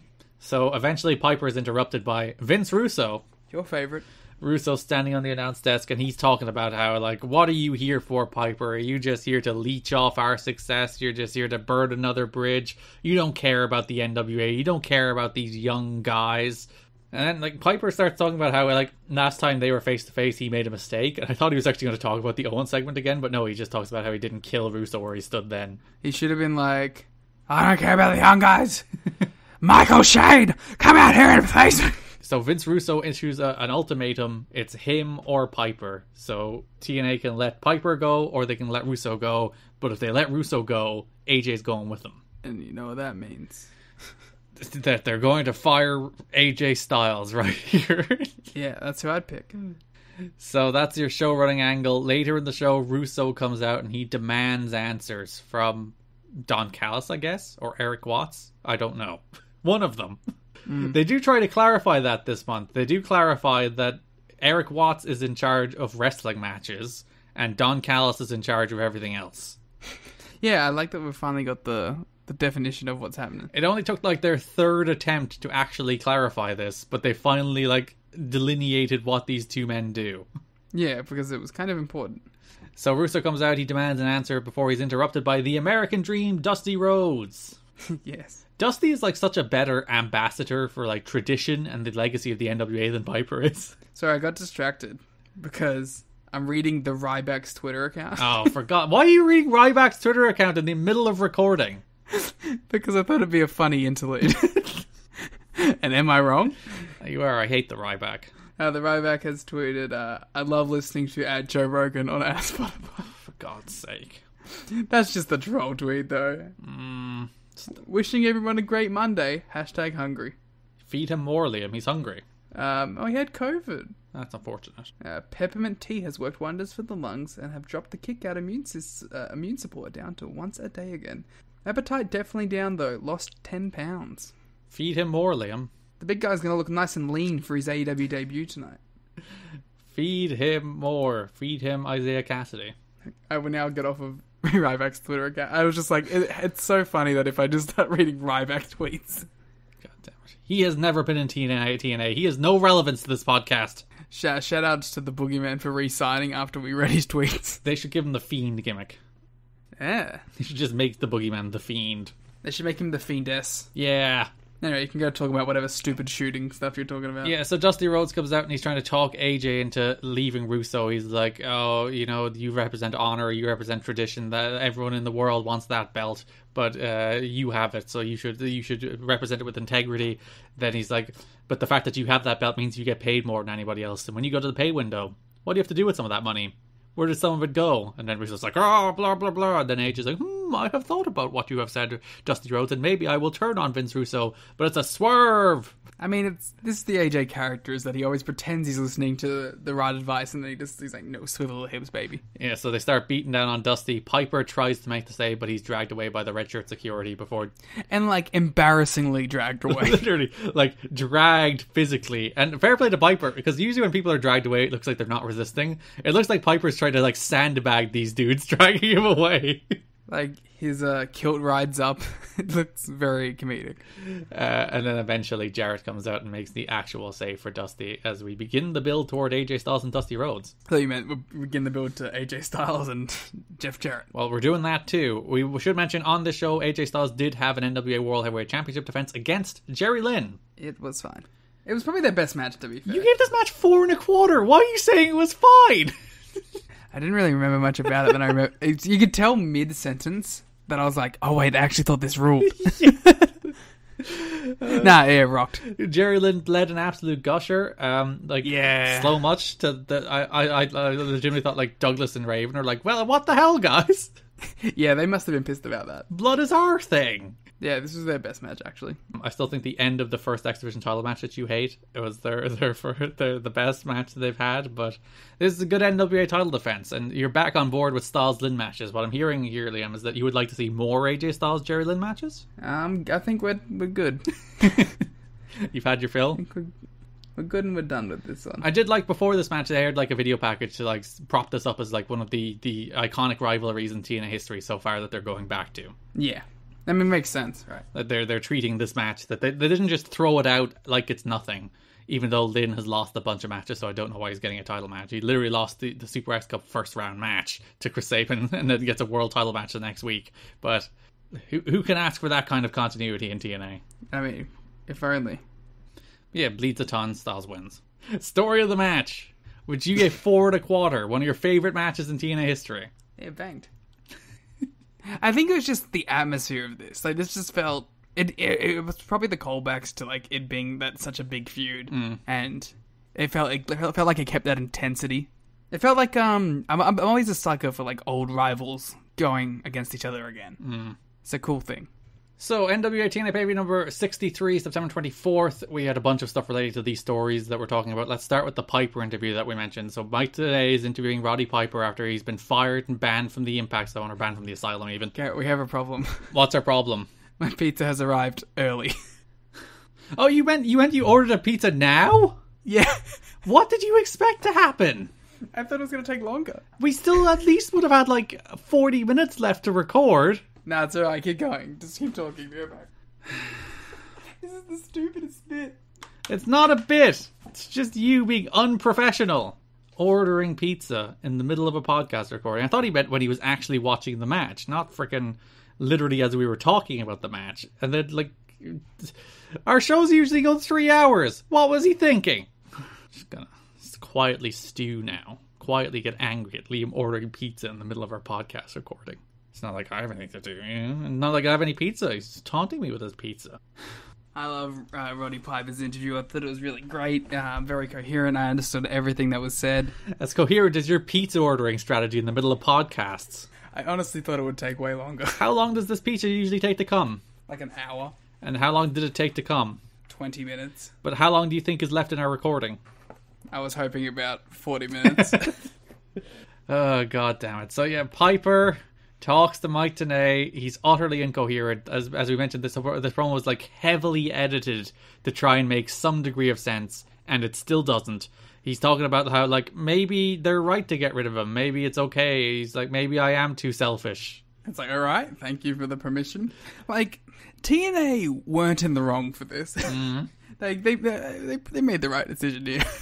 So we're not meant to feel ba- sad for Piper. We're not meant to feel like mad about the fact that he was caught. Uh, It's it's actually just fine. I hope this is like the end of it. and the end of Piper, we'll never see him again. yeah, he's just like, yeah, I get it, and leaves. So uh, the other story on the show was that Don Callis comes out and he's about to fire Jeff Jarrett because he got rid of Piper and now he's emboldened. So he comes out and he's like, Jeff Jarrett, you're, and then he's interrupted by Erik Watts, and then Mike Tenay is like, you're what? You're what? It's like Mike, No, you're Watts. what do you think he was going to say? And even Don West is like, he was going to say he's fired, Mike. You could. I like at the end. He's like, well, he could have said suspended. It's true. So uh, the, the Erik Watts interrupts and then makes a bunch of matches for this show. Like five matches. Yeah, I, I, it, it speaks to Erik Watts' disorganization that he did not have matches made for the show already. I think he had them ready. He was just announcing them to the crowd. Okay, okay. You've given Erik Watts the benefit of the doubt. I always will. So that led to our. ma- Are you eating the pizza now? No. Please don't eat on a podcast. I was gonna make it a segment. There is literally nothing worse in the world to the poor human beings' ears that listen to the show than the sound of mouth noises while listening to a podcast. yeah, my mouth was watering. That's what you were hearing. Because I was gonna make it a whole segment. I was gonna review the pizza. Mm, Well, we can do it now. I was gonna wait till you was until you had finished the bit, but here we go. no, you stay away from the pizza. I want to review it. No, you're not eating the pizza. So Erik Watts makes Dusty Rhodes versus AJ Styles in the bunkhouse brawl. Dusty does a promo about how he talks about how like AJ may be a main eventer and there there are legends in the business, but Dusty's an icon. So even if AJ's a legend killer, Dusty's an icon. Even though Kid Cash is the legend killer on the show, Dusty, not AJ Styles. Maybe he should be like, "Yo, I'm the icon killer." I hope that uh, Dusty thought he was going to feud with Kid Cash and came up with this great promo and it's like, I'm still going to do it, Daddy. yeah, he should feud with Kid Cash. That should be the. well, Obviously, Kid Cash is wrapping up this storyline. Should be against Hogan. He's the true icon of wrestling, Daddy, not you, Hulk Hogan. Yeah, basically. Uh, but Sting's the icon. There's so many icons.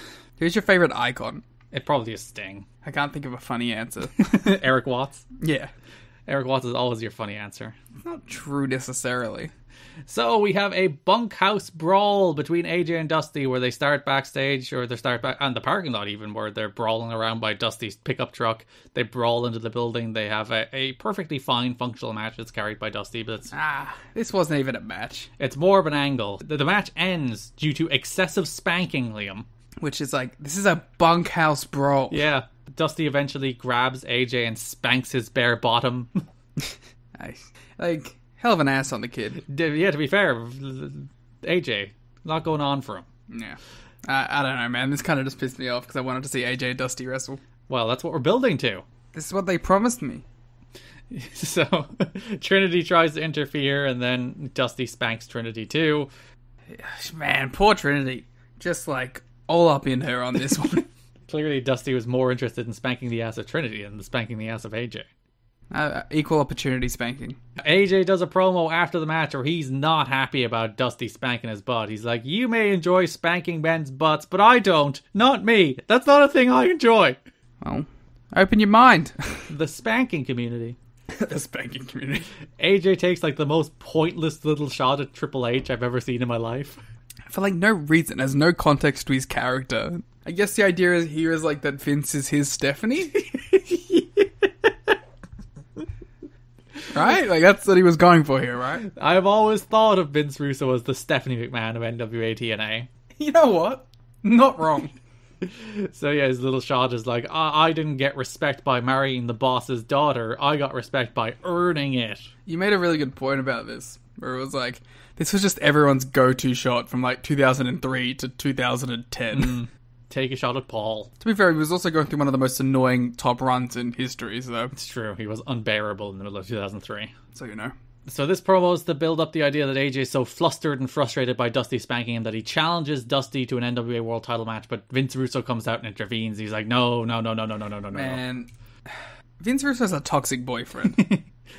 He's like, "We can't possibly have that. What we'll have instead is it'll be Dusty and Jeff Jarrett versus AJ Styles and me." Well, I imagine that everyone was desperate to see. No one wants to see AJ and Dusty. Everyone wants to see Vince Russo involved. I'm sure he'll bring up the quality of the match a ton. the, the real What's work. Vince Russo's best match? I don't know. Like, was like the cage match where he won the belt actually good? I have never seen it. Not a big WCW fan. You know, you got to watch WCW 2000. You got to suffer. Pay me. Uh, a very important note that I didn't mention in that Watts promo earlier, he did mention that Jeff Jarrett will get his World Championship match in, in the next 30 days. yeah, it's, it's some very specific wording there. So AJ and Dusty is your feud. AJ and Russo against Jarrett and Dusty is your first main event of next month that you will look forward to us talking about in the next episode. I like how they um by the end of this month they're like first show let's prove how good wrestling can be by itself and then the end of it they're like haha silly. You, you said this last show of the month was good. I enjoyed it. The wrestling wasn't great. I thought this show stunk. I thought every match on that last show of the month sucked. I thought the angles were bad. Yeah, I liked one match on this show a lot. So X Division stuff for the month. We began with the Super X Cup, of course, which Chris Sabin won. Then we followed with a six-man tag team match on NWA TNA pay-per-view number 62, in which Nosawa, Michael Shane, and Chris Sabin faced uh, Frankie Kazarian, Juventud Guerrera, and the debuting Eric Young. David Young. It did say David Young on his lower third. But yeah, Eric Young. Showtime Eric Young making his debut here in September 2003. He didn't actually do much of note in the match itself. He got to hit his cool move. Oh, he did. He hit the wheelbarrow neckbreaker, which is legitimately one of my favorite wrestling moves. That move rocks. Do you like it because it's Eric Young's move, or do you like it because of the move? I like it because of the move. It's a cool move. I remember it always had such impact in the video game. Hmm. That was that always felt like a big finish in the video game. So the big story in this six-man tag team match is that the the heel team won. Nosawa Sabin, and Michael Shane won because Frankie Kazarian was distracted at ringside, Liam, talking to a girl, Ooh, and not just any girl, Liam. You might have recognized the girl to be Angelina Love. Angel Williams. That was her indie name at the time. Yeah, yeah, and she stayed there the whole show. yeah, because the, the Raven and Shane Douglas brawl in her direction in the main event, and she's just sitting there. trying not to get bled on which is I think the main goal when you go to an NWA TNA show. Just try not to be bled on. Or puked on. There's a lot of bodily fluids that can end up on you at an NWA TNA show. A few less since Bruce left. So this is the uh Or puppet. You can choose one or the other, really. well puppet it might be watermelon or whatever the hell he broke over that dude's head. Bit of everything. So this is the beginning of Frankie Kazarian's heel turn. He is he's too big of a ladies man at ringside to actually focus on the match they're having. Much like the Sandman. yeah, of course. Yeah, the Sandman and Frankie Kazarian, two people who I think of hand in hand. Maybe they'll show us some hand in hand. You've gotten the pizza and now you've become unhinged. I haven't eaten it yet. It's the hunger. It's just staring at me. The hunger has made the hunger and the smell has driven you to insanity. A little bit. NWA TNA baby number 24. We had a number one, con- uh, sorry, number 53, September 24th. We had a number one contenders match as Jerry Lynn, Juventud Guerrera, Nosawa, uh, Frankie Kazarian, and Chris Sabin faced off in an elim- elimination match to determine the next contender for Michael Shane's championship. Nosawa was robbed. They did misspell Nosawa in the video package for the match. They said Nasawa. Yeah, come on, Jeremy. Listen, I know you've been up for 25 hours doing this. But you will get the name of Nosawa right. He's the chief strategy officer. Frankie Kazarian came out. He went over to the, the TNA girl, started flirting with her. Lollipop, thank you. Yes, of course. She has a name and a new haircut. Yeah, don't you don't you correct me about Lollipop when you didn't even recognize her in the watch along. I recognized her by the end of it. She only did her ass high spot, and then you're like, oh, it's Lollipop. That's her most known for spot. Would you blame someone if there was someone wearing a disguise and then they hit the Stone Cold Stunner and you're like, oh, it's Stone Cold Steve It's Austin? Shark Boy. it's Glenn Gilberti. Not at this point. well, you could tell the difference, I'm sure. Uh, so Frankie was flirting with her. Let's talk about Frankie's hair. Let's talk about Frankie's test gear. Yeah, let's talk about Frankie Frankie and his big test tights. and his pitch black hair. Yeah, why is he dyeing his hair so black? I didn't mind it, but uh, he's just gone through some phases here. Yeah, he's trying to work out who he is. Don't blame him. Like, what does a ladies' man look like? That's the thing. He's like, he hit puberty, and he's like, oh, I like girls, not just wrestling. So, what do I look like to attract girls? Yeah, this is actually the whole story of Frankie Kazarian trying to lose his virginity. Yeah, by looking like Test. I mean, listen, I'm sure Test, it worked for Test. Have you, he had that whole thing with Stephanie. Yeah. Frankie needs to link up with Vince Russo. I was about to go to the same place. Oh, this match had one of my biggest pet peeves about elimination matches, where there are people breaking up pinfalls. yeah, It's like, what are you doing? who cares? Yeah, th- this match was a match. Jerry Lynn won. Uh, the most notable thing is the moat about the match. Uh, Juventud Guerrera was originally booked to win the X Division number contenders match and wrestle Shane for the title. However, they got word that he's got visa problems and weren't confident he'd be able to make it. Guerrera, like so many others, has been using a tourist visa, which means you aren't allowed to work.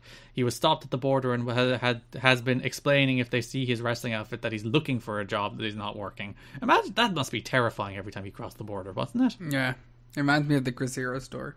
He was warned that if he tries it again, he, they'll never let him back into the country. Like every time you go to work there, it's like, oh god, if I'm caught, I might be kicked out forever.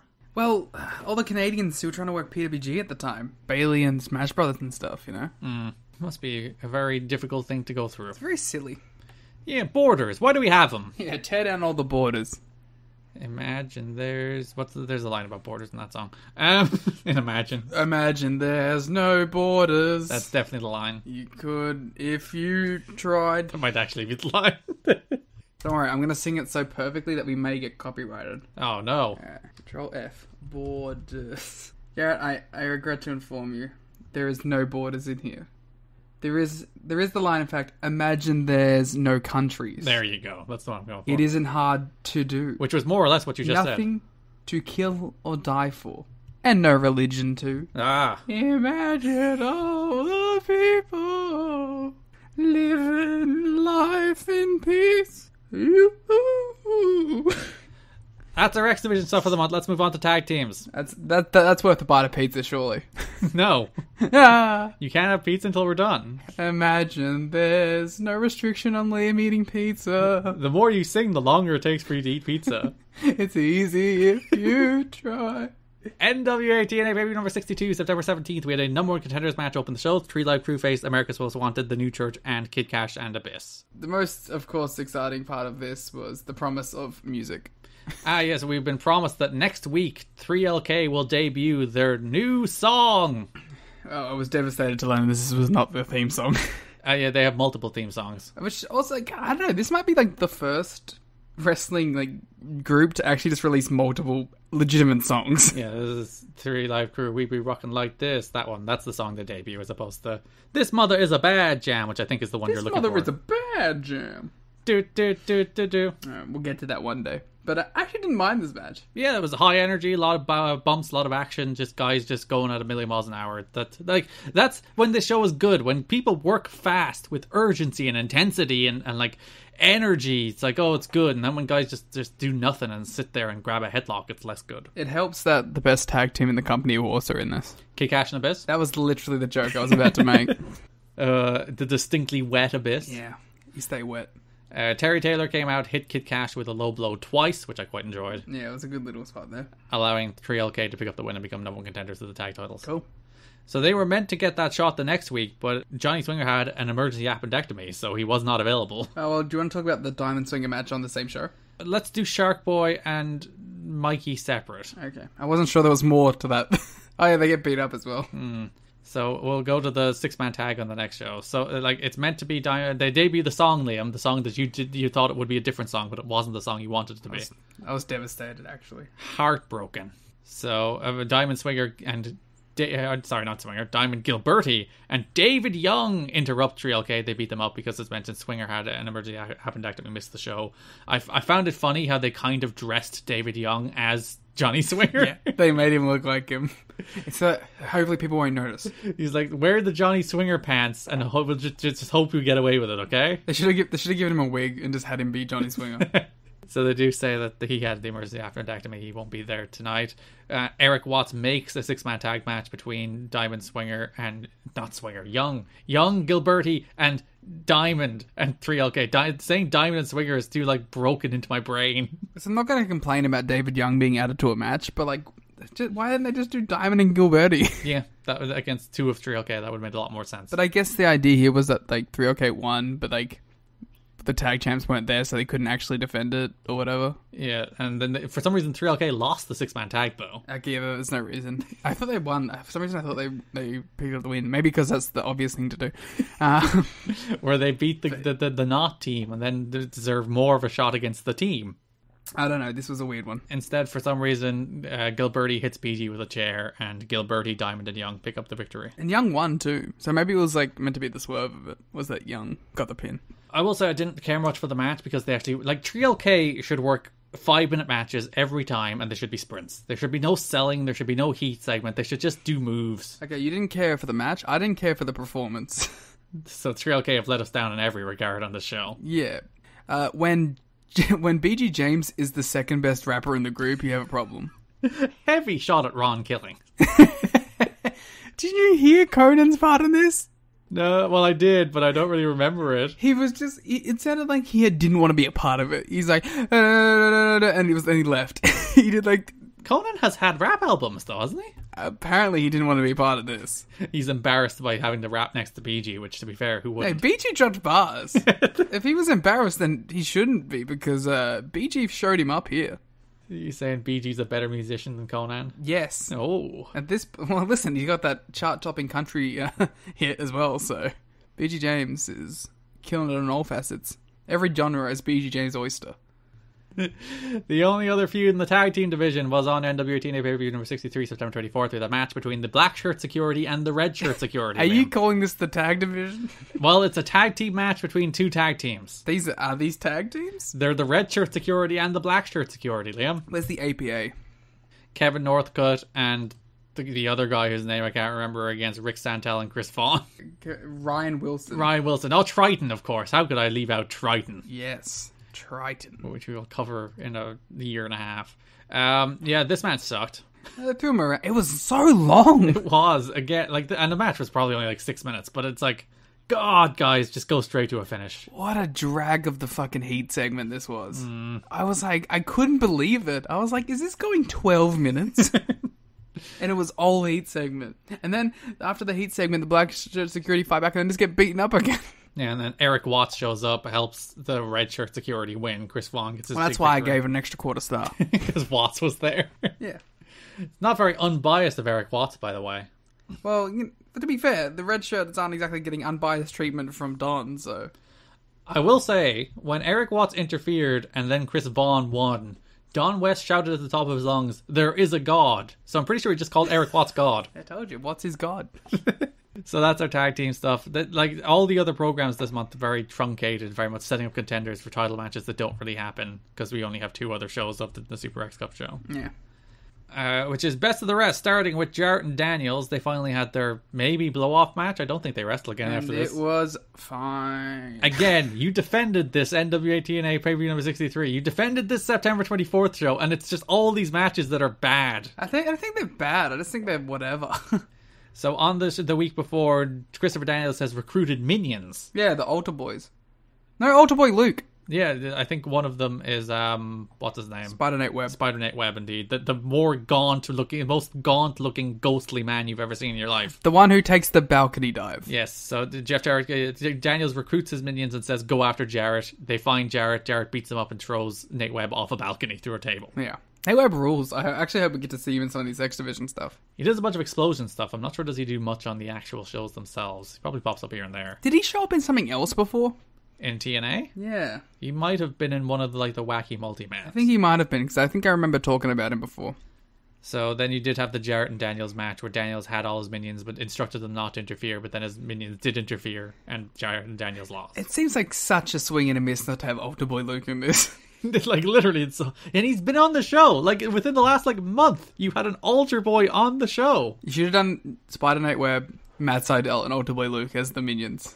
i was I, i'm not sure was it like a makeup job or something but the minions looked like the palest most like malnourished as malnourished as you are without your pizza at the moment uh, people in the You're gonna make me. history of wrestling- You're gonna make me bite it like mid thing. Listen we only have like five more things to do and then we're done then you can eat your pizza I'm, I've picked up a piece and I'm just smelling it now. just to get some sense of pizza It's gonna lick it. but yes they looked as malnourished as you do without your pizza right now yeah. Um. The most important thing I think here is the the candle continuity. oh what did go on Well, um, as we there was a big feud with James Mitchell and Raven, which began with um, the misappropriation of candles and occultic symbols. So I assume James Mitchell will be coming for J- for Christopher Daniels next, and who knows what beast Christopher Daniels has unleashed into the the asylum through his uh, his um un unwieldy uh, usage of the dark arts. We'll have to keep an eye out next month to see who shows up and who debuts, and that's who Daniels has summoned. If, if Judas Mesias comes in, I swear to God, So, uh, yeah, Jarrett won the match. Daniels whipped, uh, I think it was Nate Webb that he whipped, wasn't it? it's, it's just a shame it was on. Let's give Nate Webb all the credit. Yeah, Nate Webb is the only one of these minions that matters, except for uh, Tiny Luther. Actually, I don't think it was Nate Webb. I think it was the other guy. So, not Nate Webb, not Tiny Luther, the third one. Yeah. Altar Boy Luke, we'll call him. Jarrett has ended his feud with Daniels. He's beaten him in their one match. What a uneventful feud that they had. Yeah, Daniels needs some serious rehab after this. Let's go to Kid Cash and Terry Taylor. Perfect match. So they had the segment on the Super X Cup show where they had the backstage interview. Then they had the se- the segment where Terry Taylor cost Kid Cash the number tag team number contenders match, and then on NWA TNA pay per view number sixty three, last show of the month, they had a match against each other. Kid Cash, Terry Taylor. Say backstage interview. Terry Taylor was wearing the Bobby Roode robe. Yeah, I, I thought I made note of that. And okay, this might have just been my eyes playing tricks on me, right? But I swear to God, in the middle of his hair, it was red tinted. I didn't notice, but w- why would it be? Because it's the Red Rooster. Ah, that's that's storytelling. But I swear to God, it was there.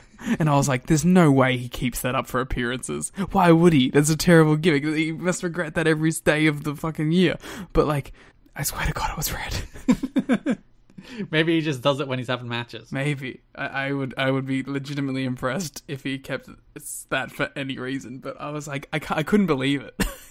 So Terry Taylor's big thing here is that he had AMW out with him to even the odds. Abyss interferes, hits Terry Taylor with a black hole slam, but then AMW sorted things out. Terry Taylor won. yeah, good fun. Nice little blow off, I assume, to this Kid Cash against Legends feud. Ah. Well, the, the blow off to be a legend beats him, surely. Well, Taylor beat him, so there you go. Oh yeah, but you know he still stood tall at the end. Need like uh like Dusty coming in and laying him out, mm. or Hogan, either either. Hogan and Kid Cash. Yeah, The second last thing, Sonny Siaki against D'Lo Brown. Most notable because they had a casket match on NWA TNA pay number 62 for the debut of Umaga. Um, I'm ecstatic about this. Umaga, legitimately, maybe my favorite big man wrestler of all time. His WWE run is one of my favorite things in wrestling. I have gone back and watched the highlights so many ridiculous amount of times. Uh, just legitimately one of my favorite wrestlers. I'm very excited for this. Um, and he looked like a fucking badass. Yeah, so they're having a casket match. They're doing their usual casket match. It's every casket match you've ever seen, where the, the entire drama is just built around somebody shutting a lid. I don't know why these matches still exist. And um, threw him on top of it, which is kind of gnarly. Yeah, and they, he broke the door. and then they're just kind of like, "Yep, that counts." because yeah, the the the, the, the lid of the casket was broken in two, so the the, the top half came off. Uh, Jamal of Three Minute Warning fame, uh, Ekmo Fatu as he'll go by in TNA, or Umaga as he'll go on to be in WWE, showed up, dropped D'Lo with a big Samoan drop, and then helped Siaki throw him He in looks so good, didn't he? Already, it was so sick. because he's like big and cool and does cool moves. And yeah, the, through D'Lo in the casket, and as mentioned, they kind of had to just place the top of the casket in the right place. But let's talk about their, their even cooler segment.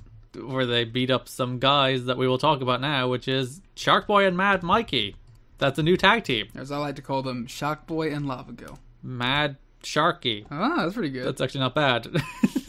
so, September 17th, Shark Boy's backstage playing with a robot, Mad Mikey. They have a tag team match against Diamond and Swinger. Mad Mikey's not pleased about Shark Boy's antics. well, to be fair, he does say that um, I also like to play with inflatable things in my own time, but I do keep it to my own time. Yeah, this is professional time, Shark Boy. You don't want to be inflating with inflatable things on professional time. Sorry, I'm I, I just checked ECMO's cage match, Yeah. and I am truly uh, in love with how many times ECMO wrestles in TNA. I think he has a match nearly every week in October, so I'm I'm very excited. him and Sonny Siaki as a tag team. I, there's one match on here I am very excited for. Well, you can look. I think that's his last one. I imagine that's the one you're talking about. No, oh, interesting. he comes back in 2004. Yeah, that, that's the match I would have been thought you were talking about because it's Alex Shelley, isn't it? What is? Yeah, it's Umaga against Alex Shelley. Sorry, my head hurts. You'll have to wait a year to cover that one How does he go for not wrestling for that long in this company? and pop it up to face Alex Shelley randomly. Does he just hang around? I don't think so. I think he just works Japan a lot. All right, well, we'll see. So Shark Boy and Mike, uh, Mad Mikey face Diamond and Swinger. They lose. Yeah, let's talk about Mad Monkey's outfit. Uh, what was his outfit? It was SpongeBob. Oh, right, you went to the next show. NWA TNA baby number uh, 24. They're backstage. Shark Boy and Mad Mikey are together. Mad Mikey is wearing a SpongeBob costume. He is not pleased. Why is he wearing a SpongeBob costume? Yeah, how did we get to the stage where he put on the SpongeBob costume before he realized he does not want to wear a SpongeBob costume? He also tore it apart. Like it was, it was disintegrated before he even put it on. Clearly, he's not a fan of Shark Boy's antics. But he lives in a pineapple under the sea. Maybe does does Shark Boy come from Bikini Bottom, canonically? Um, yes. Oh, cool. I think this story is actually secretly very sad. Because Shark Boy just wants to have friends. Yeah, Shark Boy had his best friend New Jack, who'd play all the games with him, and then he like he, he was fired by Don Callis, and now he's just wandering lonely, looking for a new friend. Looking for a pod. He lost his friend Norman Smiley because they, they wouldn't pay him. He's gone too. Now he's just like this Mad Mikey guy is mean to me, but he's all I have. If um, TNA wanted money, Mm-hmm. they would have done an angle called Finding New Jack. and it would have been Shark Boy traveling across America to find New Jack. Traveling the ocean all the way down to Australia to find him there, Yeah, that's where he is. He's in, he's wrestling in WWA. because let's not forget Finding Nemo set in Australia. Oh, trust me, I would not forget that. Yeah, that Mad Mikey and Shark Boy segment where they're dressed as SpongeBob ended with Ekmo and Sonny Siaki beating the shit out of them. no. Likely setting up a match for next week Now I'm just sad about it. about Shark Boy's uh, uh, inability to find friends. yeah. He needs a super friend. All right, that's everything for the month. Let's go show by show real quick. If you have any notes from the Super X Cup show that you haven't covered, That it was the best show in company history. and like all the the hype was like it was the best show in company history as well. Like the, the Dave Meltzer was talking about, it, like uh, all the reports he got was like this was the best show this company has ever put on. And I like how they're just like, let's not do more of this. And like even Meltzer was like maybe even one of the best pay per views, like single pay per views ever. Which is like, all right, maybe a bit too far there, Dave. I mean, maybe 03, who knows? We'll we'll take the praise. It feels like um like a really good dynamite. One of those dynamites where it's just like match interview, match interview, match interview, match interview. Like why can't the show always be this good? I will say, uh, Dave Meltzer was like cataloging the feedback he got for the one cent pay per view because they got uh, he got a bunch of more feedback from people who had never watched TNA before.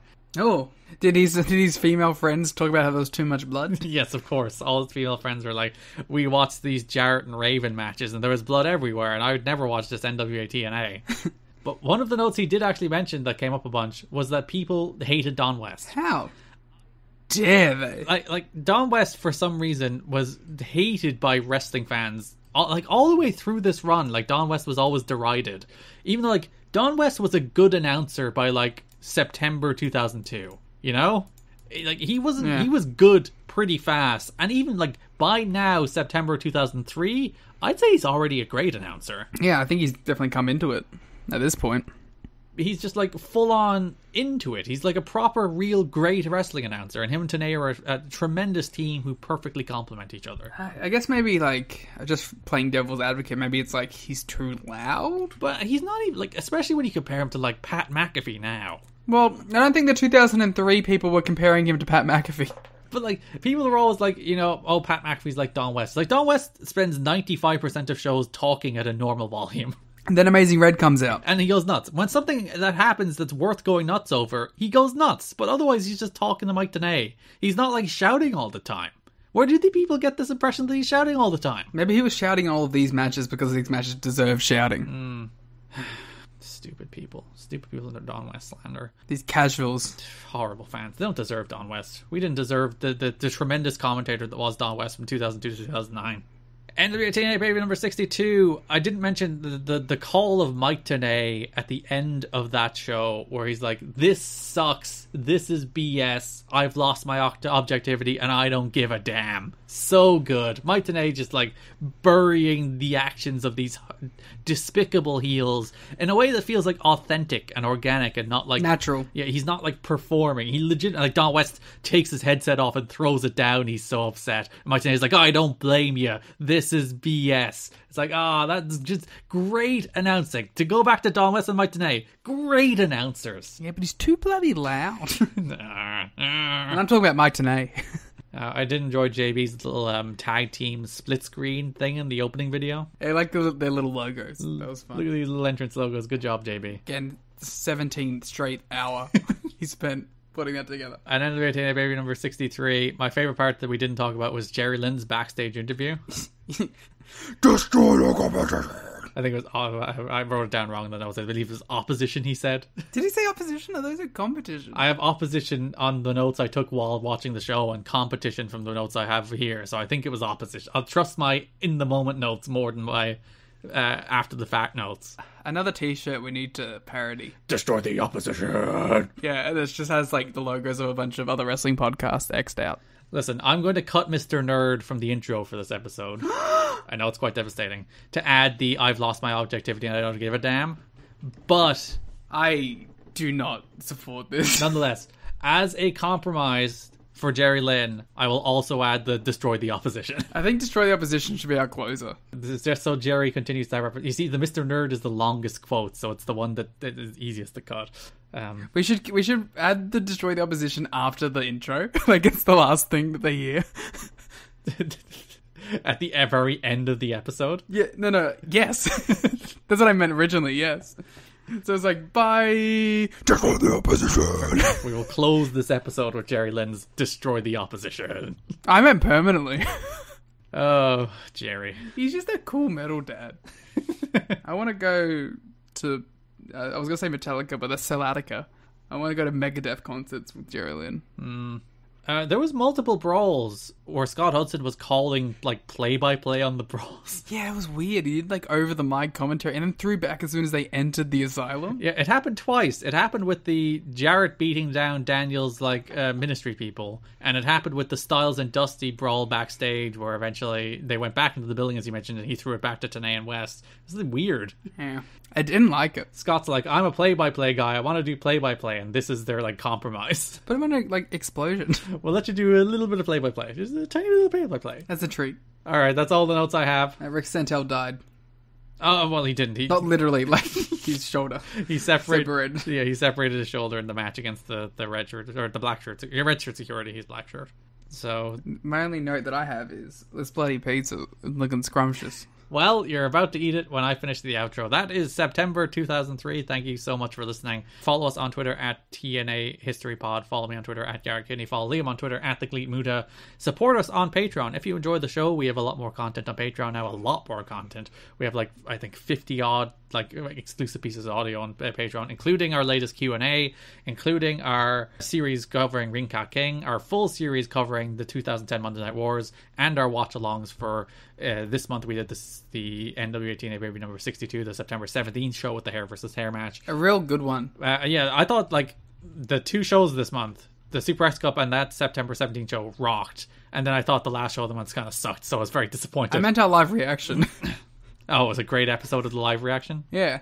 You were putting us over rather than putting TNA over. Yeah, not- I would. I will never put TNA over. but yeah, I like the first two shows this month a lot, and then the last one kind of sucked. I was very disappointed that I couldn't go. This was the best month in TNA history because it had a bad show. this is the best month in TNA history. Boom.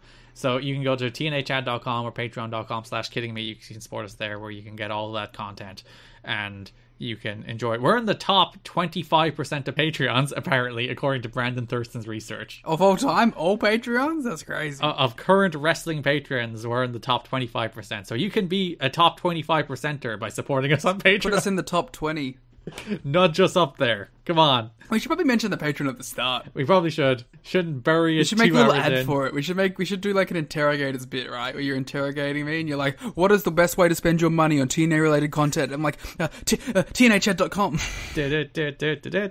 yeah, we'll make a bit. we'll find a bit. I forgot to mention. I've been meant to mention for a couple of weeks. Our our pals Days of Thunder are now on the Voices Wrestling podcast network. We did a crossover episode with them over Christmas, watching the World Wrestling All Stars uh, Inception event, which was a horrible show, worse than anything TNA has ever produced. But uh, Days of Thunder, if you'd like to hear a podcast covering Thunder, one Thunder at a time, that's your show for you. It's now if you listen to this show in the main Voices of Wrestling feed, uh, that show will also be in the Voices of Wrestling feed. Or if you listen to this show in our own personal feed, you can go look for Days of Thunder on the podcast platform of your preference. Go listen to Days of Thunder. And uh, jumping bomb audio. Yeah, and through the years where you can hear the the Ring of Honor equivalent of our show. That's not on our network. Let's just plug everybody's shit. Um, yeah, that's okay. Let's name wrestling podcast. You can go listen to Deadlock. Uh, 52 weeks. What? the Eric Bischoff show. The what? The Eric Bischoff podcast. No, no, no. We don't plug Eric Bischoff here. Um, oh, brand new show to the Voices of Wrestling Podcasting Network, the Emerald Flow Show, covering All Japan and Noah. Yeah, Music of the Mat, uh, the best show on the network because it has uh, put us both on it. only if it has TNA themes though. There's a lot of Dale Oliver slander on that show though. How dare they? Super J Cast. I'm literally going through the feed. I don't want to forget anyone. Open the voice gate. There's that new uh the the four pillars, the new AEW show. Oh yeah, the fifth pillar.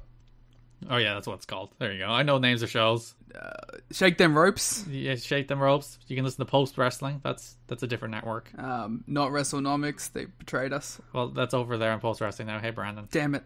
Um, All right, that's the show. this show. Just listen to this Yeah, show. listen to You've Got to Be Kidding Me. Go back and listen to old episodes if You've Got to Be Kidding Me. What more do you want than You've Got to Be Kidding Me? I'm actually going to keep this going just so Liam can't eat, eat, eat his pizza. Ah! Disgusting. Disgusting behavior. You should be fired. You should be thrown in a river for this behavior. Anyway, that's our show. We'll be back in two weeks with the October 2003 episode of You've Got to Be Kidding Me. We'll be back in about a week with our. God, with our episode of uh, Ring Ka King on Patreon, patreon.com slash kidding me or tnachat.com. Thanks for listening, and bye bye. What are- Do something. Destroy the opposition!